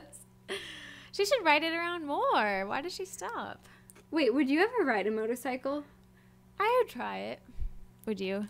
Uh, maybe on the back of somebody Yeah. on a back road. Yeah. I have no desire to ever drive a motorcycle. I feel like it might be cool, but but I liked riding my mom's Vespa. Yeah, that was scary. I would get one of those. I don't think I could ever get on the back of that again, or on the front of that again. It's not so bad once you just take your time and go slow, and then you start to be more confident. But I'm not Yeah. like an expert or anything. But anyway, yeah. So she goes to the Cullens house, returning to her sleepover, right? And she goes to Mhm. sleep, but then She's on the couch. She wakes up and Edward's there. Yes, and Edward is so flirty here. he I'm not- is he's so frisky here. so frisky. Yeah, he's very peaceful and not upset or anything. And they start kissing. Oh my gosh, I have to find this. Page 185, he says, it says, Sorry, he murmured so softly that his voice was part of the darkness. I didn't mean to wake you. I tensed, waiting for the fury, both his and mine, but it was only quiet and calm in the darkness of a, his room. I could almost taste the sweetness of reunion in the air, a separate fragrance from the perfume of his breath. The emptiness, when we were apart, left it left its own bitter aftertaste, something I didn't consciously notice until it was removed. There was no friction in the space between us. The stillness was peaceful, not like the calm before the tempest, but like a clear night untouched by even the dream of a storm. Oh my gosh. I don't know why hearing you read that was like really feeling intense for me. So Bella, remember she left that voicemail for Edward? She was Mhm. so angry. Yeah. She's completely over it. yes. And he doesn't even care that she snuck off hmm to La Push. It's it's hard for me to even talk about this section because I like can't contain myself. Okay, good. I thought it was just me. Words will never do it justice. Like I just want to read the whole thing aloud. I know, should we? I don't know. Can we? I don't know. Let's start. Let's start on page 186. Oh my gosh. His hand this is the best part. His hand. I feel self conscious that Abby might be listening in the other room, but maybe she's not. my cat is right on my lap. He's listening. Okay, his hand curved around my elbow, moving slowly down my arm, across my ribs, and over my waist, tracing along my hip and down my leg, around my knee. He paused there, his hand curling around my calf. He pulled my leg up suddenly, hitching it around his hip. Oh my god. I stopped breathing. This wasn't the kind of thing he usually allowed. Despite his cold hands, I felt suddenly warm. His lips moved in the hollow at the base of my throat. Not to bring on the ire prematurely, he whispered, but do you mind telling me what it is about this bed that you object to? Before I could answer, before I could even concentrate enough to make sense of his words, he rolled to the side, pulling me on top of him. Oh my. My face in his hands, angling it up so that his mouth could reach my throat. My breathing was too loud. It was almost embarrassing, but I couldn't quite care enough to be ashamed. Wow. And then the bed, he asked again. I think it's nice. It's unnecessary. I managed to gasp. Gasp. That makes it really crazy. he pulled my face back to his, and my lips shaped themselves around his. Slowly this time, he rolled till he hovered over me. He held himself carefully so that I felt none of his weight, but I could feel the cool marble of his body pressed against mine. My heart was hammering so loudly that it was hard to hear his quiet laughter. That's debatable, he disagreed. This would be difficult on a couch. Oh, He's so God. flirty. Oh shit! This is the last line we're, g- I'm gonna read. Okay. Cold as ice, his tongue lightly traced the shape of my lips. And then Bella says, "Did you change your mind?" I Asked I asked breathlessly. Breathlessly. So basically, yeah, she's like, "Are we having sex right now?" oh my god, this scene is so hot. But not to put a damper on it, do you think that this is him like kind of using sex as a way to get Bella to like not be mad about the whole kidnapping thing? Maybe, but he also has forgiven her, or not even forgiven. He changed his mind, right? So, Yeah. uh, yeah, I don't know. Maybe. I love when Edward loses his uh, self control like this. I know. It's 'Cause he's- crazy. He's always so composed and so controlled, and I, I don't know. I like the idea of him being like more, um, Crazy. like more, more thirsty for Bella's body than her blood. so yeah, Bella's really frisky here. She's like, I like danger. Yeah. Shit. Oh, I wrote Bella's a freak. She Wait, she does something really freaky. She says, "You can hold me hostage anytime you want." This is like very Fifty Shades. It is. I can see the connection. Do you think she was not really angry about the idea of being kidnapped? It's just that Edward wasn't there? Or I don't know. I feel like she would still be angry if it was him that was like, You're staying with me all weekend. I don't know. Um, no, I think Bella actually would be fine with that. Okay. I, I think that it's uh this is a problematic thing about Bella though. I mean maybe it's because she can't see Jacob without Edward, but like Mhm. it's it's like she has to be with one of the boys. You're right. Like why couldn't she be happy to do a girls' weekend? I know she isn't. I hate that. She never wants to hang out with her girlfriends. It hurts me. Do you think that like she needs that kind of attention, like romantic attention? So it's like Edward's like here, oh I wanna go see Jacob. Yeah, maybe. We, should we get into her psychology? maybe. She she needs male attention. it's because of her childhood. Yeah, I mean she I don't feel like she doesn't have daddy issues though. You're right. I know she's pretty. Actually she does. She kinda does. Does she? She doesn't call Charlie dad. She calls him Charlie. You're right. And, And she didn't in know the him for. books, she hmm is really indifferent to him. It's like more than the movie. Yeah, she's way more loving to him in the in the movies. Bella. It is like.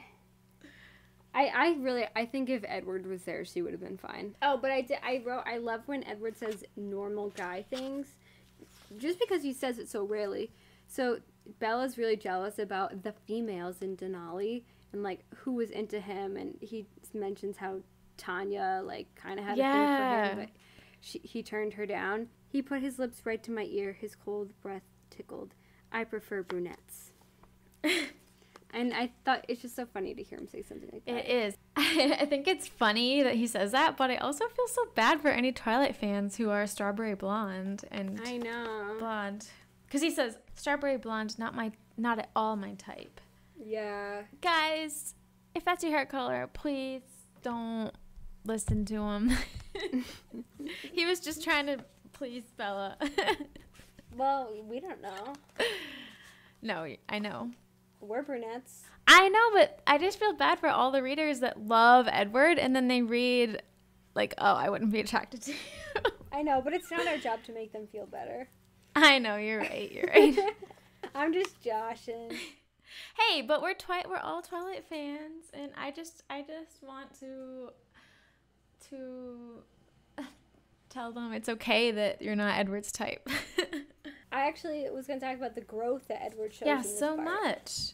He was, as we know, he's very controlling in the beginning, but here he really has learned. On page 190, he says, I decided you were right. My problem before was more about my prejudice against werewolves than anything else. I'm going to try to be more reasonable and trust your judgment. If you say it's safe, then I'll believe you. She says, Wow. Yeah, and then he says, 191.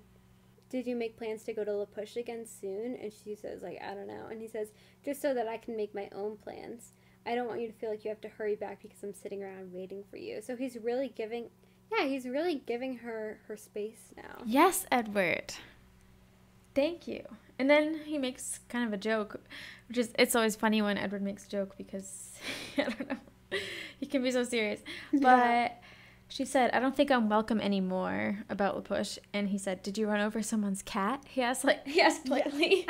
I would I would have loved to have seen Edward say stuff like that more in the movies. And then Bella tells him about how Jacob said, "I'd rather you be dead." And Edward is genuinely sympathetic. He's not like, "Oh, Jacob sucks." Yeah. Yada yada yada. He's like, "I'm so sorry." And then Bella says, "I thought you'd be glad." And he said, "Glad over something that hurt you?" I don't think so, Bella. And Jacob, like, this is my thing. This is why I'm Team Edward. Jacob would never ever say something like that. He would be like, Yeah. Bloodsucker." Like he would not have the maturity to put Bella's feelings first. Like as we saw earlier, Jacob was getting joy just in thinking about how much pain Bella was in when Edward Yeah. left just for his own personal benefit. Edward's not like that. Like all he cares about is that Bella is happy and not whether or not I mean to some extent it is self-centered like as everything is, but at the end of the day like he'd rather Bella be happy than for him to like win. And we really see that in, you know, like Breaking Dawn when he says, if you want to have a baby with Jacob, you can. I mean, that's kind of to the extreme about wanting Bella to be happy. Well, do you think that they would have had to have had sex or that they would have done I like think they IVF? meant have sex. I, that's how I took it. Really? yes. Oh my god. Because then, I don't know. Why would he say Jacob? Like, wouldn't he just say, like, oh, you could get sperm donor? wouldn't he Sperm just say that? Why would Why would he say, like, Oh, yeah, that is weird. he say the guy that you kissed? Yeah. Like, oh, if you're willing to bone one other person, would it be Jacob? what a weird love triangle. weird. oh, Bella's frisky again on the same page.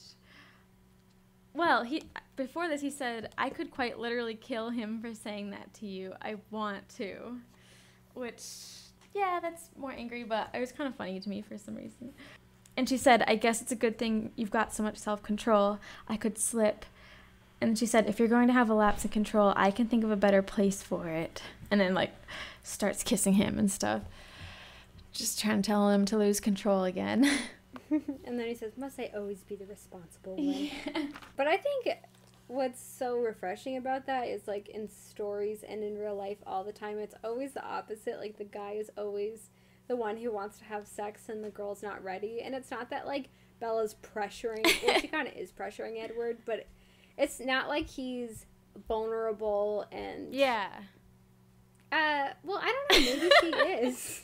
No, I agree with what you were starting to say that I think it's really cool that we have this girl, you know, not being ashamed of wanting it and it's a cool dynamic that he it's like reversed from I don't know, conventional Yeah. things and books Yeah. and TV. But it's not like hard to believe. Like I'm sure it happens. Like just because someone's a guy doesn't mean he like wants to have sex and just cuz someone's a girl, you know, doesn't mean they're they're the Yeah. one that's like, "No." I, I do think it's like Edward isn't saying no because he's like mm-hmm. not ready for it, mature like maturity wise. It's just because he has his values. Imagine if he's like, I don't know, I just not ready. This is too grown up for me. I don't know. Well, people have different reasons for not being ready, but yeah. Like we haven't known each other that long. that would be interesting. Chapter 9 is called Target. My first note is that Jacob leaves Bella and a, he calls and leaves a mm-hmm. voicemail. And Charlie leaves a note. And he's very team Jacob. He says, He said he didn't mean it and that he's sorry. He wants you to call him. Be nice and give him a break. He sounded upset. And Bella says, I didn't expect Charlie to editorialize Yeah. the messages. Bella's very clearly mad at Jacob.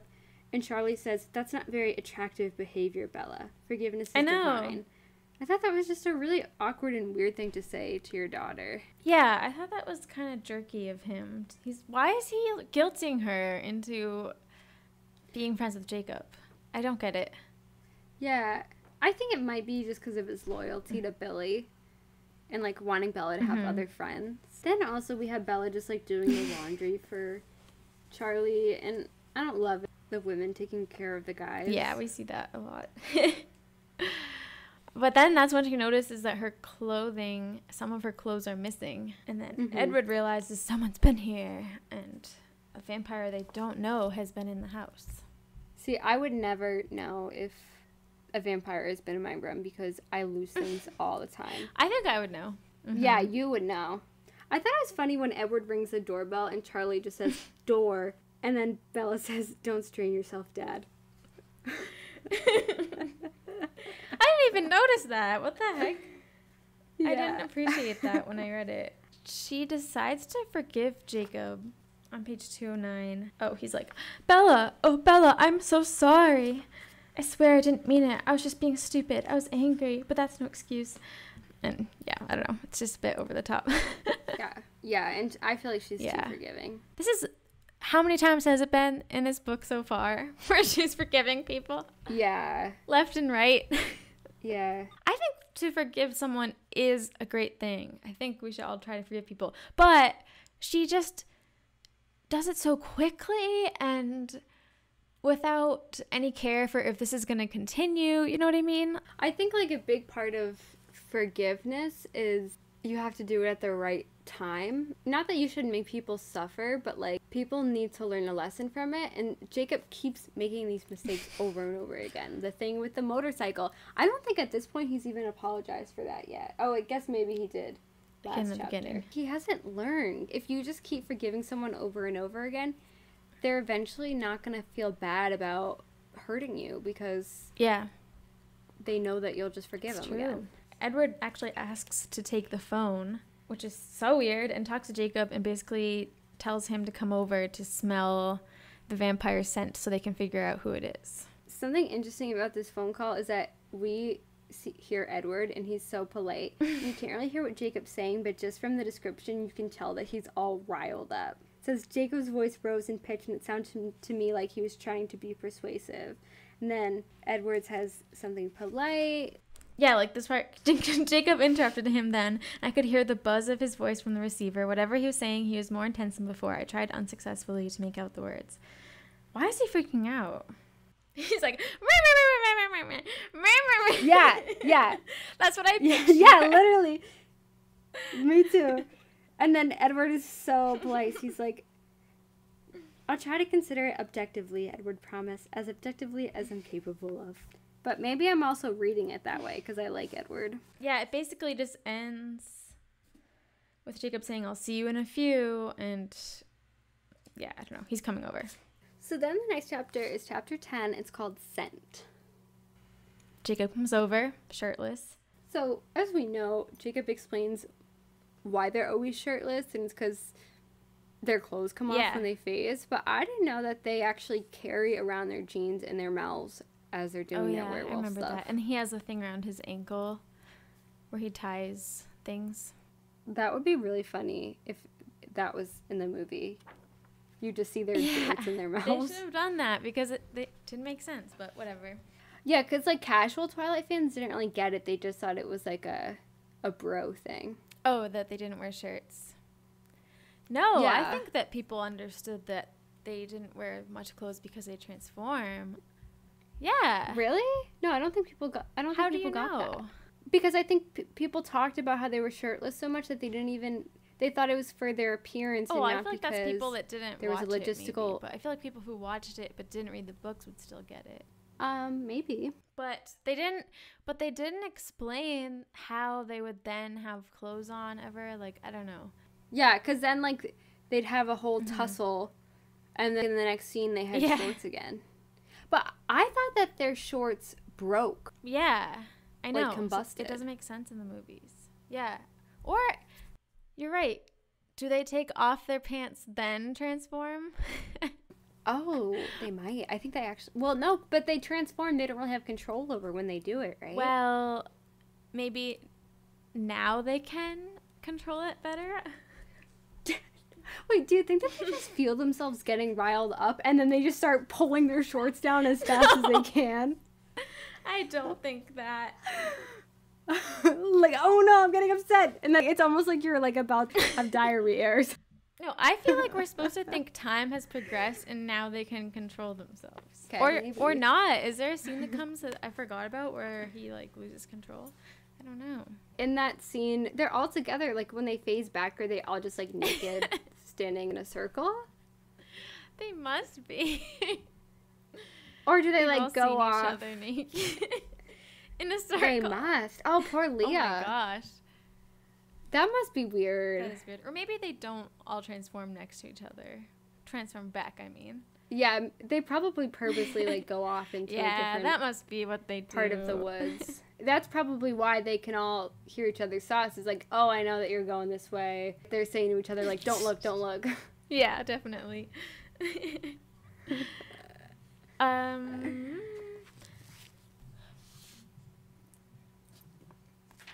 Okay, it's gonna be hard for me right now to find the part that I was talking about. I'm just gonna read my note, but I can't find the thing to back it up, so I should cut this out.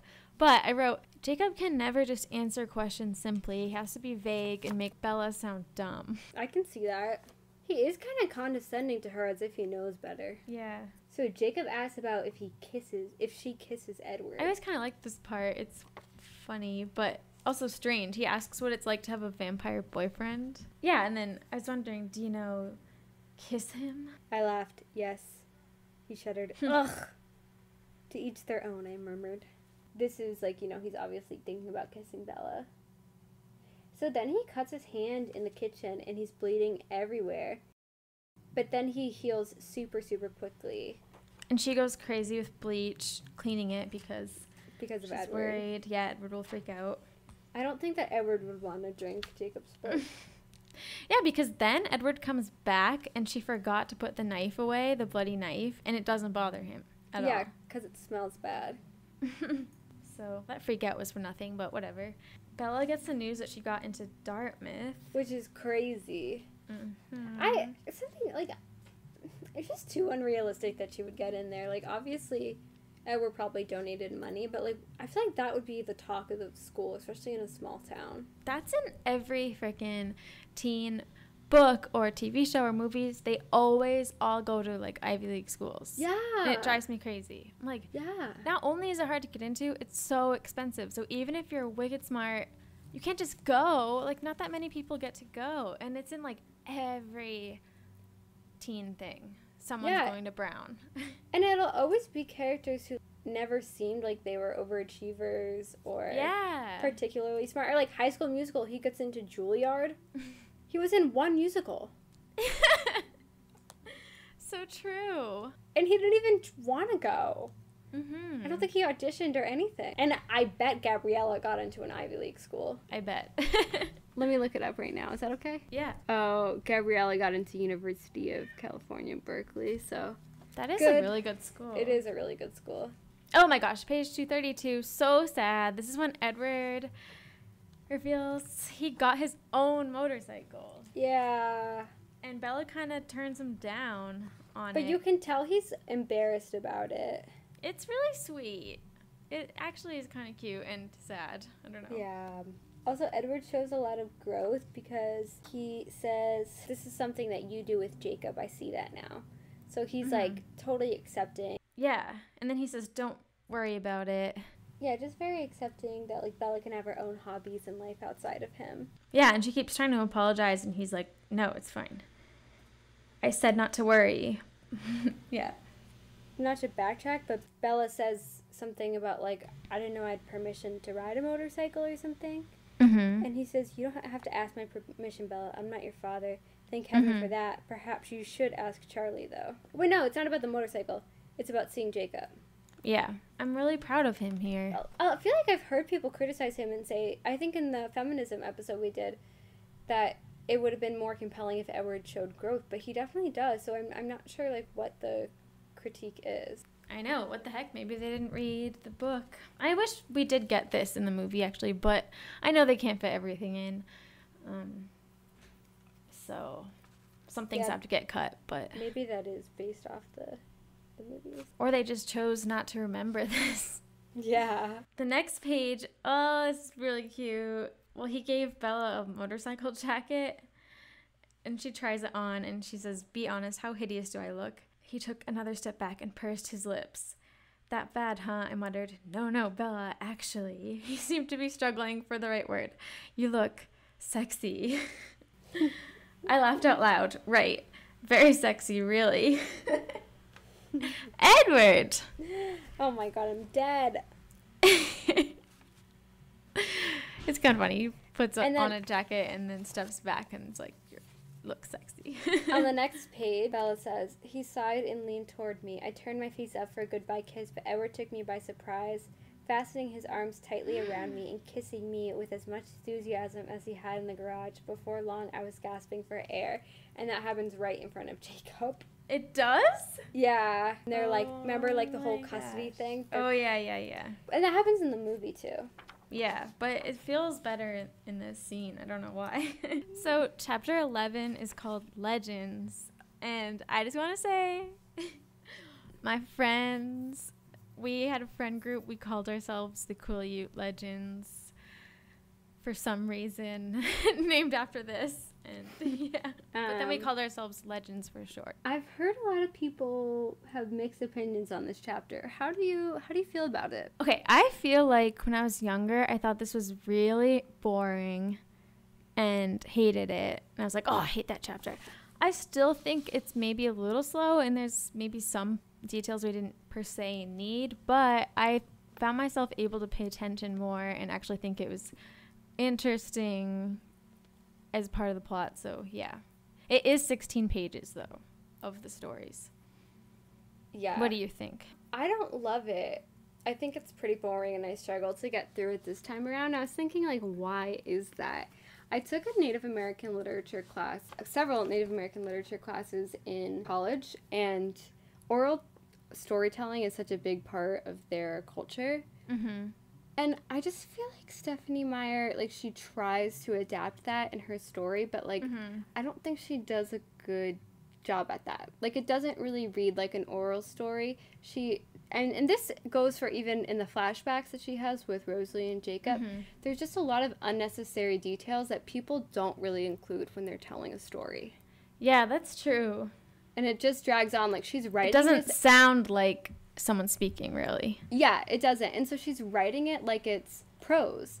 Mhm. And then when you're then keep going back out of that and Billy's wiping the sweat off of his forehead or whatever, it's just kind of awkward and So before they get into the story, the guys are eating tons of hot dogs, and it was kind of grossing me out. Uh, and Bella's staring at Kim, the girl that Jared imprinted on, and there's this whole part about she didn't think she was that pretty. And then she sees Jared's devotion and then changes her mind about how Kim looks. And it's very weird. I didn't like that part because it's like Bella doesn't notice yeah. Kim's beauty until it's in the eyes of Exactly. a guy. Like it's through the male gaze. I know, Bella's a little superficial sometimes. Yeah.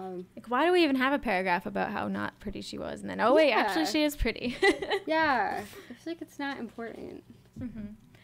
And during the stories, Emily's taking notes. Yeah, I didn't get that. I thought it was just interesting, but I don't think there was a point. I don't know. She just wanted to document them. Maybe. So then Billy tells. Uh, I actually did a little bit of research about this. Billy tells a long story about the Quileute origins, about Taha Aki. So this is not a real story. I mean, duh, they're not really werewolves, but this whole thing, like, there wasn't a guy named Taha Aki. I looked it up, and it's weird because there is a real story that she kind of could have used. It's a little bit different, but the real story is about Kwati or Klati, who created the Quileute tribe by transforming wolves into people. Like that's their actual legend. So it's like, Yeah. why did you change the name? And like, I just, it's weird. Did she even know that? I mean, she must have, but I wonder if she thought that it would be more inappropriate to change a real story instead of just making up her own. But I think that's another reason why I don't love this section is I understand the need to include the legends that Mhm. exist in this universe for the Yeah. sake of the story. But just having these whole 16 pages and then knowing that it's not even real. Yeah. it's, you know, a white lady kind of just like changing the legends of a tribe. hmm I don't know. I just don't I feel like it could have been enjoy just like it. way shorter in the real legend and just been like, yep, so that's it and turns out it's true or like I don't know. Like she didn't need to add to it. Yeah, and there's so many details. It's, it's like, why is she the third wife? Like, what's the significance? it kind of sounds like someone, like a white person, trying to write a story that sounds like what a Native American story would sound like to them, if that makes sense. Mm. You know? Interesting. Yeah. And I was wondering like why do we even necessarily need this? I mean, it's weird because I think it's cool that she has the real tribe in this book and like I never heard of them before and I think that's cool that I learned about it, but I was wondering like why does she even have this? And like, well, she just wanted something that relates to the vampires and to Bella's struggle. She identifies with the third wife. Um, but I'm wondering, like, was there another way she could have done that, or did we even need it? You know, Yeah. driving that point again. I don't know. I think a lot of people take issue with this chapter because she Mhm. is changing their legends and like Yeah. taking something that's like kind of sacred to the culture and then making it fit into her own plot and story. Um, and the third wife is a lot of what we've been seeing, like really submissive and yeah, uh, just kills herself so that Taha Aki can live, I think. And um, I did like how Bella said, I wish they remembered her name because I was like, yeah. Yeah. heck, I'm glad someone pointed that out. yeah, really complicated chapter and yeah, not my favorite. I don't think a lot of people love this chapter. hmm It seems like Bella falls asleep She does. right after it yeah. because the next like the story's over and then the next thing she knows she's being carried by Jacob. hmm She's waking up, which is kind of rude. I know. Did she miss other stories? I have a note here that says Jacob maturing. I don't know what that's about. Oh, he called Edward actually. Oh, yeah. To pick her up. Oh yeah, that was kind of nice. mature. Yeah. Yeah, and Bella wakes up in Edward's bed. No, no, no. Her her bed, right? but Edward's there and he's reading Wuthering Heights. Um, he relates to the passage that's on page 266, I guess. Yeah, I didn't really get it because I don't know anything about the story.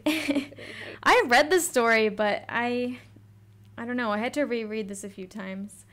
Like Bella really thinks it's weird that he related to it. I think the character is basically just saying like I wouldn't even though I hate him, the other guy, I wouldn't kill him because it would hurt her. Yeah. Oh. Stephenie Meyer always does this. Like we just saw this with the legends, with the magnets, with this. Like she's just trying to remind us, like this is how they feel. Yeah, that's We're so like, true. Okay, we get it. And like Edward has explicitly told us that. I know. Do we really need a part of Wuthering Heights to remind us? I don't know. I think it's before she wakes up, she has a dream of Rosalie killing Billy Black. Oh yeah. So random, but I thought it's funny. It's like two of our least favorite characters in the whole series. yeah, It'd be hard to root for either of them. I know. Who would you? Probably Rosalie. Because Billy's just. He's a meddler. Uh, is, is he a good friend to Charlie?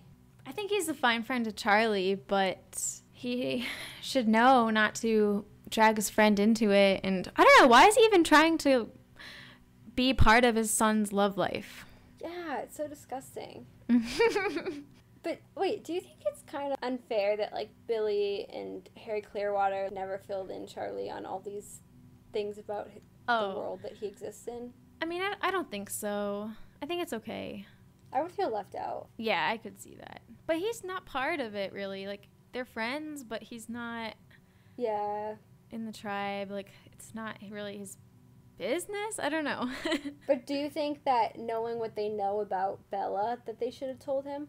I don't know. Like they know all these things about his daughter and as his friend, do you think that they should have let him know? maybe actually, yeah. When her life is in danger at times, like it is kind of crazy. Like they know that she's with a vampire, and they haven't told Charlie. yeah.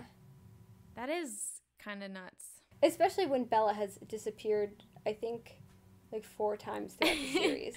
Not that I want that though per se. Like I Yeah. want Bella to not be able to see Edward and this whole love story's over. But I mean, I understand being secretive about this the legends, but mhm. it's a little weird that they they wouldn't feel more responsibility. But it's funny that they don't do that, but then Jacob ends up doing it.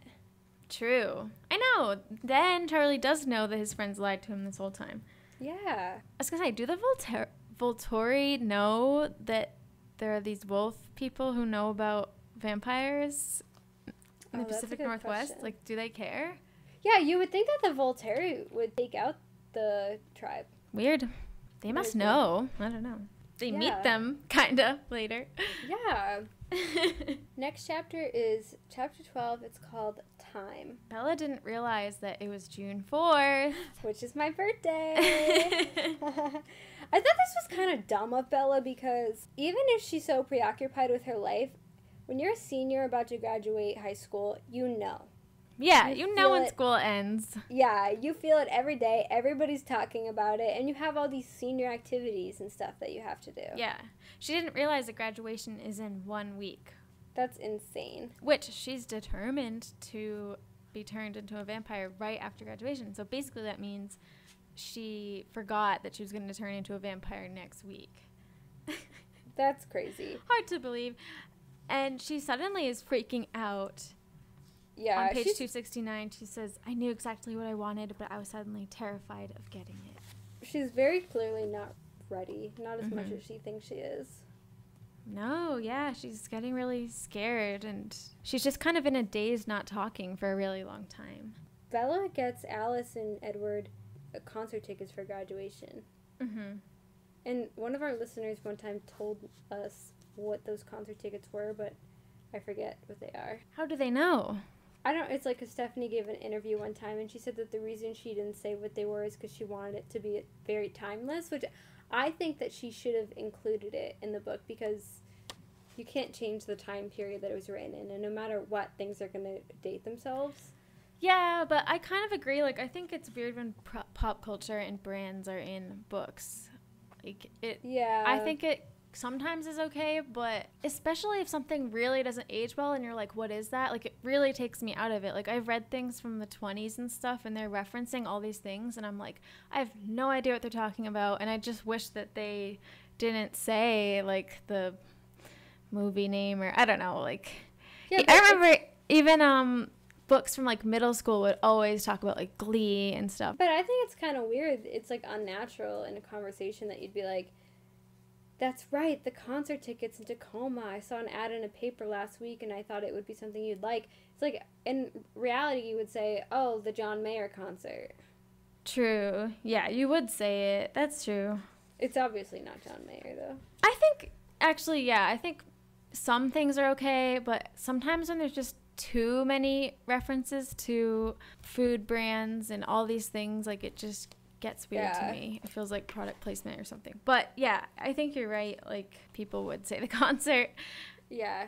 and bond over specific bands that they like. Whoever told us that, please remind us. I thought this was interesting. Edward is being vulnerable in this scene. Uh, page 276, when they're talking about why Bella doesn't want to marry him. Mm-hmm. And he feels kind of insecure about that. Yeah. Bella's explaining her reasoning that it's just not something that people her age do, and she'd be kind of embarrassed about it.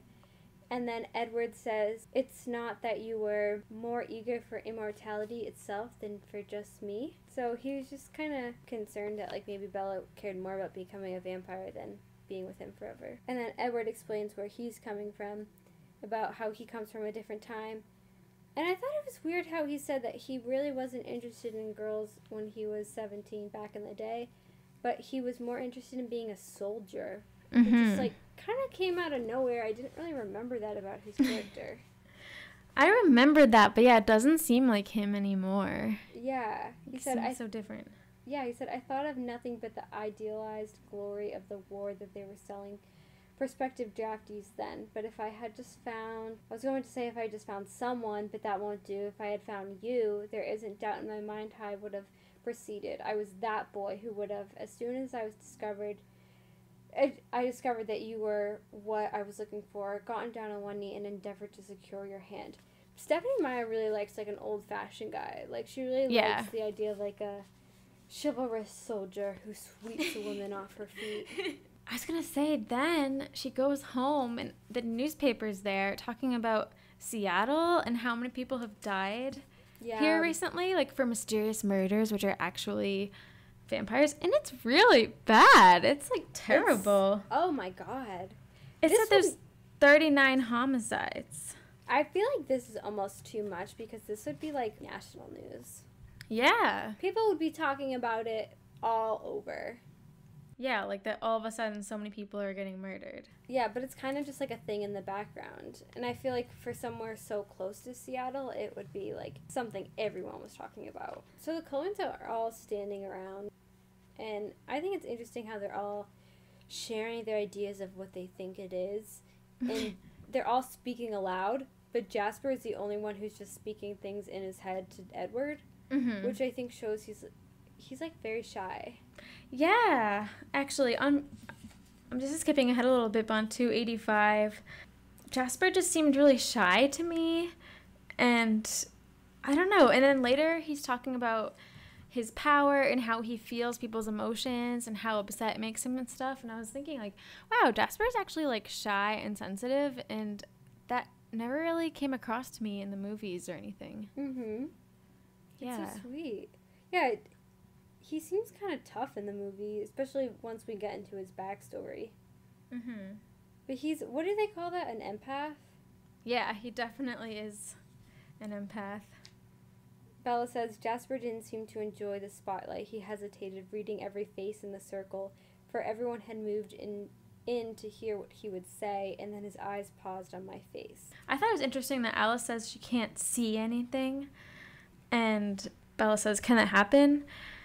And Edward says, "Who knows? No one's ever done a study, but I really doubt it. These things tend to intensify over time." And then Bella says, "So what's wrong?" And he says, "Self self fulfilling prophecy. I think we keep waiting for Alice to see something so we can go." And she doesn't see anything because we won't go until she does, so she can't see us there. So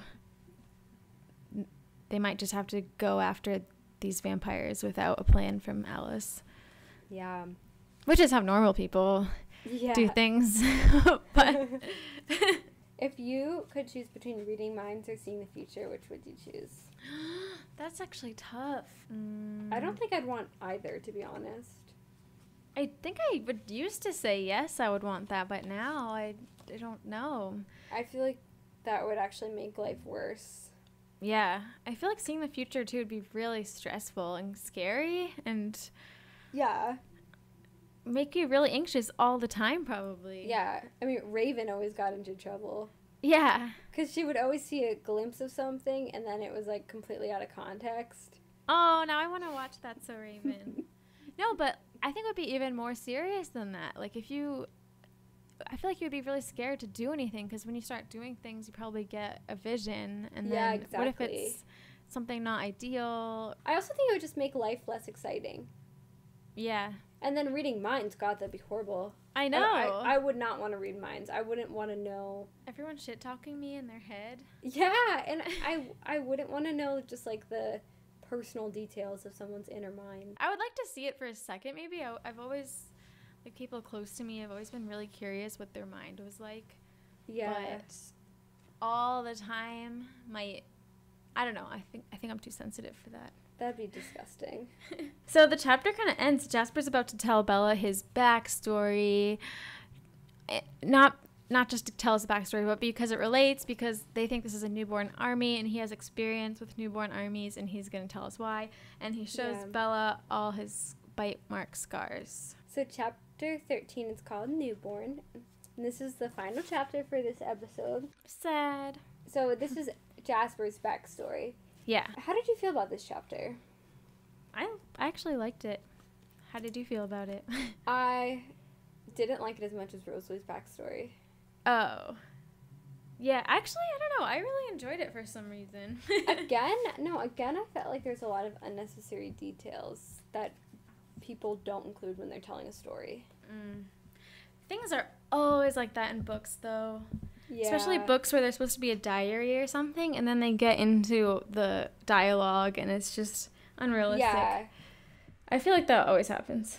Jasper tells this whole story about this isn't in the movie. Someone named Benito who created a newborn army in Mexico, and they were newborn battles over territory. And he said that human history blames like diseases for population slumps. I don't understand that. I don't know. I guess we I guess it's supposed to be like when a lot of people died, people thought it was because they were dying of a disease or something. But but wouldn't they know that it, people were dying of diseases because you would see like their bodies? Probably. Yeah, I don't know. Maybe they just think like a lot of people did die of the plague, but then some people died of this, but then when they like just counted all the people that died that year, Yeah. it got mixed in with it. I don't know. yeah, maybe. And then they think I don't know. I don't think they had great records back then maybe. Yeah, on that's true. How specific the numbers. That's true. I thought it's interesting when Jasper is talking about the Volturi, and he talks about them with much more respect than people see them. Yeah, with admiration kind of. Yeah, he says it's the Volturi that keep them in check. They are the only ones the Southern Covens fear. If not for the Volturi, the rest of us would be quickly exposed. I found out the way he pronounced the name, with respect, almost gratitude. The idea of the Volturi as the good guys in any sense would be hard to accept. Which is interesting. I think Mhm. we might do an episode on the Volturi. We have had a listener who really opened our eyes to just like all the multi dimensions of the Volturi and Yeah. they're such interesting bad guys because they're both bad and good and a lot of their evils are disguised as goodness, I guess. Mhm. Um, Yeah. I I agree with what Jasper's saying. Like somebody has to enforce the laws. Before Jasper tells the story of Benito, Mhm. I know we talked before about like him being in the Confederate Army and how do we feel about it. Yeah. And you mentioned, oh, historically, like being in the Confederate Army, like it didn't always mean, it wasn't always like just about slavery for people who joined it and like just wanted to be soldiers. Mhm. But I kind of wish Jasper said something like that here. Like I wish he, because he kind of talks about being in the Confederate Army. He talks about how much he wanted to enlist, and he changed his, he faked his age just to join, and then he joined up through the ranks, and he talks about it like with so much pride. And Yeah. I don't really like that. Like I wish that he said, you know, I really want to be a soldier, and just at least one sentence of looking back, Mhm. I wasn't loyal to the cause. Yeah, maybe just if he just said one thing. And it has been a really long time. Like he's lived a long life, so he's had time to think about this. It's not like he, we're still then when Yeah. he's just like I don't know, a farm boy or something who thinks the north is being aggressive or something. He's had time to learn, so Yeah. So but it's weird that he hasn't said anything. Especially since he's talking to someone from the 21st century, he should be like, "Don't worry, slavery was wrong." Yeah. So Jasper tells the story how he was working for that woman Maria and killing a ton of people, and he met his friend Peter and Charlotte, and they're still his friends to this day. But he talks about like he left the wars and everything. He left that Maria to be with them, but that he still felt depressed. and it was making me so sad. Yeah. I forgot about that. Was Maria his lover?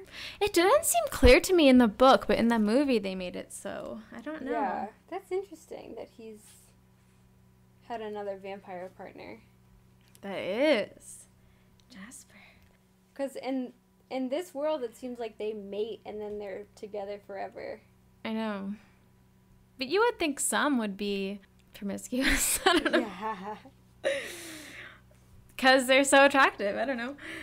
Um, He also says, or someone had clearly Mexican features, but oh, yeah. porcelain skin, which I was like, I don't know what Mexican features are. The weird issue of like everyone's white in this story, True. um, which I don't love. we love Twilight, but there's always stuff like this. Yeah, which is just like kind of uncomfortable. hmm I did say before, and I'll say again, like when I first read this, I didn't think anything of these things. So I feel like I, I can't really like. It is bad, but also like I was in that same mindset back then, and so I was also in the wrong. And like Stephenie Meyer, I feel like she should have known better, but it's easier to say in the future. Yeah, I mean, I can understand where she's coming from because stereotypically, vampires are pale. That's something that kind of like sets the Cullens apart. Is they're just like strikingly pale. Yeah. But at the same time, Stephenie tried to make these vampires very different from how we've perceived them in Yeah. stories before. So it would have been really interesting, actually, if they weren't pale and that was another myth, and that vampires come in all different shades. True. Yeah, because her vampires, they don't have fangs. They don't burn in the sun. Like, she made a lot of changes, so it's weird that Yeah. she kept that one. Yeah. Mm, I don't know. I just felt very bad for Jasper. He was like, the depression, the depression got worse, and I wandered away from Peter and Charlotte. And he's just really sad because he feels everyone's emotions, and it's just been wearing on him a lot. While he kills people, and I've really thought of that. Like, while he's killing someone, he feels that their their fear that they're about to die. Back when he used to kill humans and drink from them, and yeah, he almost like had to become a vegetarian. I think. Although I wonder if he can feel the animals um, Oh, maybe. getting scared. I don't know. I guess he can. Carlisle can steal some more blood from the hospital. Anonymous blood. Ah, it's weird to think about. I would donate my blood for them. oh, I would say that I would, but I'm scared of donating blood. Yeah. I'm really squeamish about that kind of stuff. For Edward, you wouldn't do it for Edward. I would let him drink out of me directly, but I don't want to Oh donate blood. Yeah, that that'd be attractive. Oh my god. that would be hot. As as long as he stopped.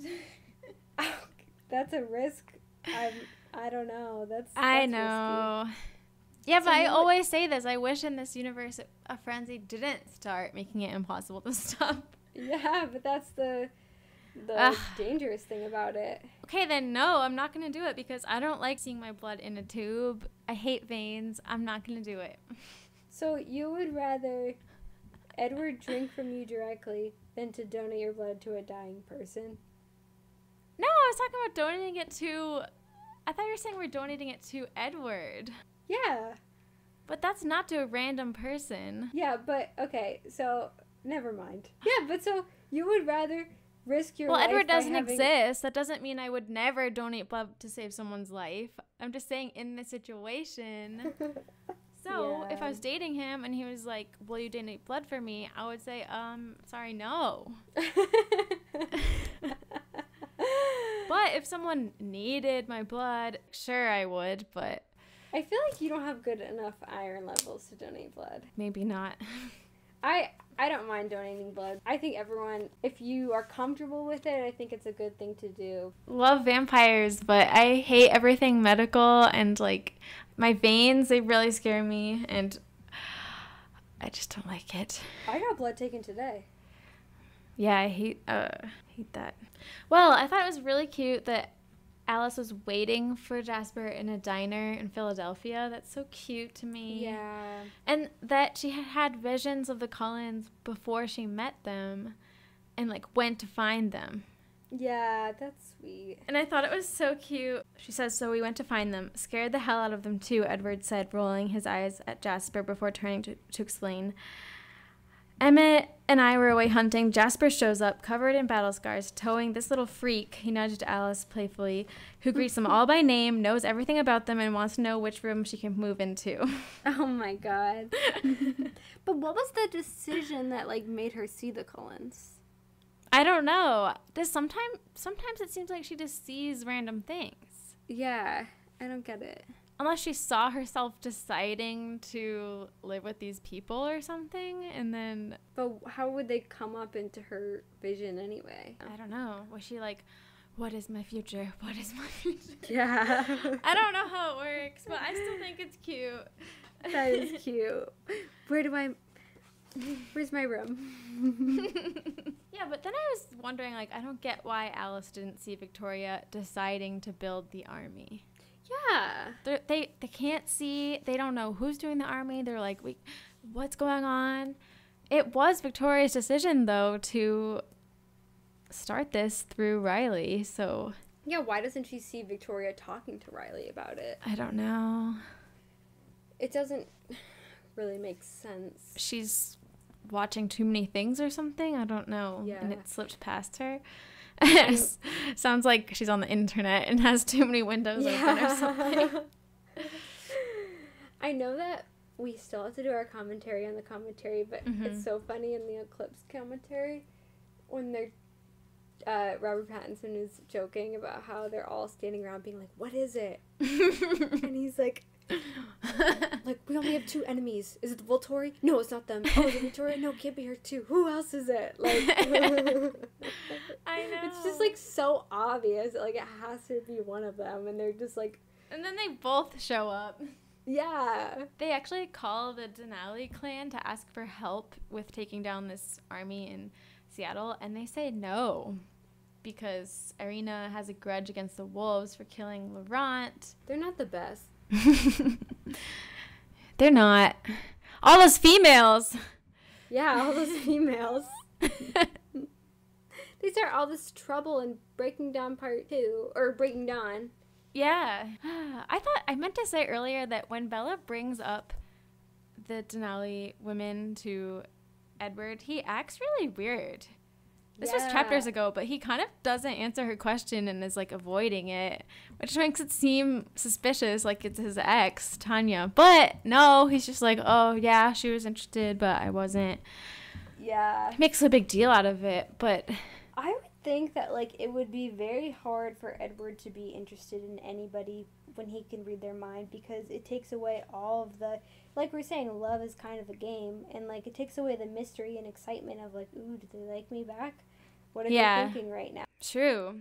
Some of the best things about having a relationship, and, like even a long one, is that you never know what you never truly know who someone is. Like you never really know what's on the inside because you can't read their mind. So it's like always trying to get to know and figure it out, but you never really will. So it's Yeah. it's fun.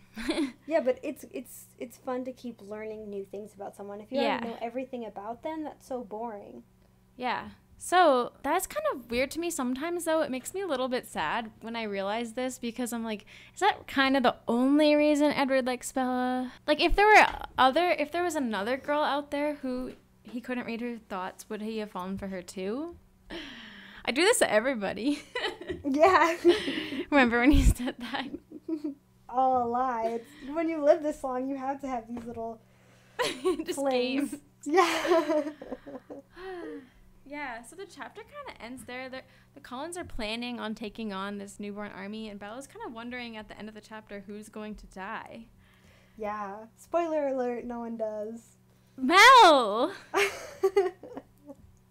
Please. Yeah, the last sentence is I looked around the room at their faces Jasper, Alice, Emmett, Rose, Esme, Carlisle, Edward, the faces of my family. so, next time, we'll discuss the second half of the book. What happens? Does anyone die? We'll find out. what happens with the love triangle. Yeah, who does she choose? Yeah, who does she choose? And let us know your thoughts on Eclipse and what we've said so far. I was gonna say that real quickly. Our listener Chris, Mm-hmm. he reached out to us and he said he doesn't know if it's a rumor, but he heard that Lionsgate might be opening a theme park in China. Oh, yes, it's true. Have oh, it's true. Yeah, I got artic- I get Twilight emails, like Google alerts sent to my email, and I got some on that weeks ago actually. Oh my god! So Lionsgate is gonna have a theme park in China that has Twilight rides and attractions. yeah, and the Hunger Games. Oh my god, I know. that is so cool. Crazy. Why wouldn't they do that here?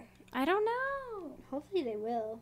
Our listener Regina sent us a bu- bunch of thoughts on our past episodes, but she also said something about Eclipse, which relates to today's episode. She said, I reread the books recently, and I remember Jake being a big jerk for 90% of it.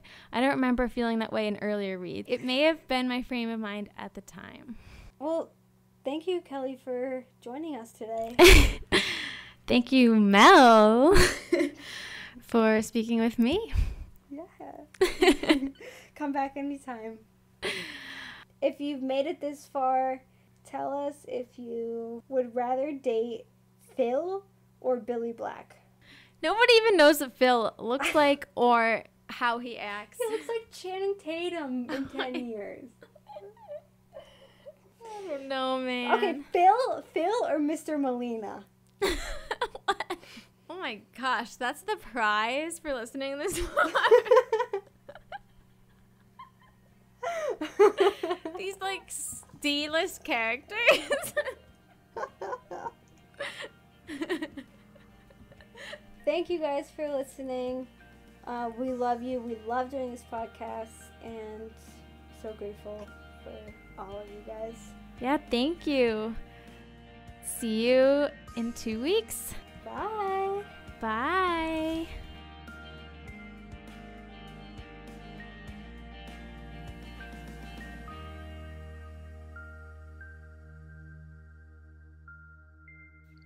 You can contact us at anotherbiteoftwilight at gmail.com or find us on Twitter, Tumblr, and Instagram at Another Bite of Twilight. The music is by Traces. See you next time.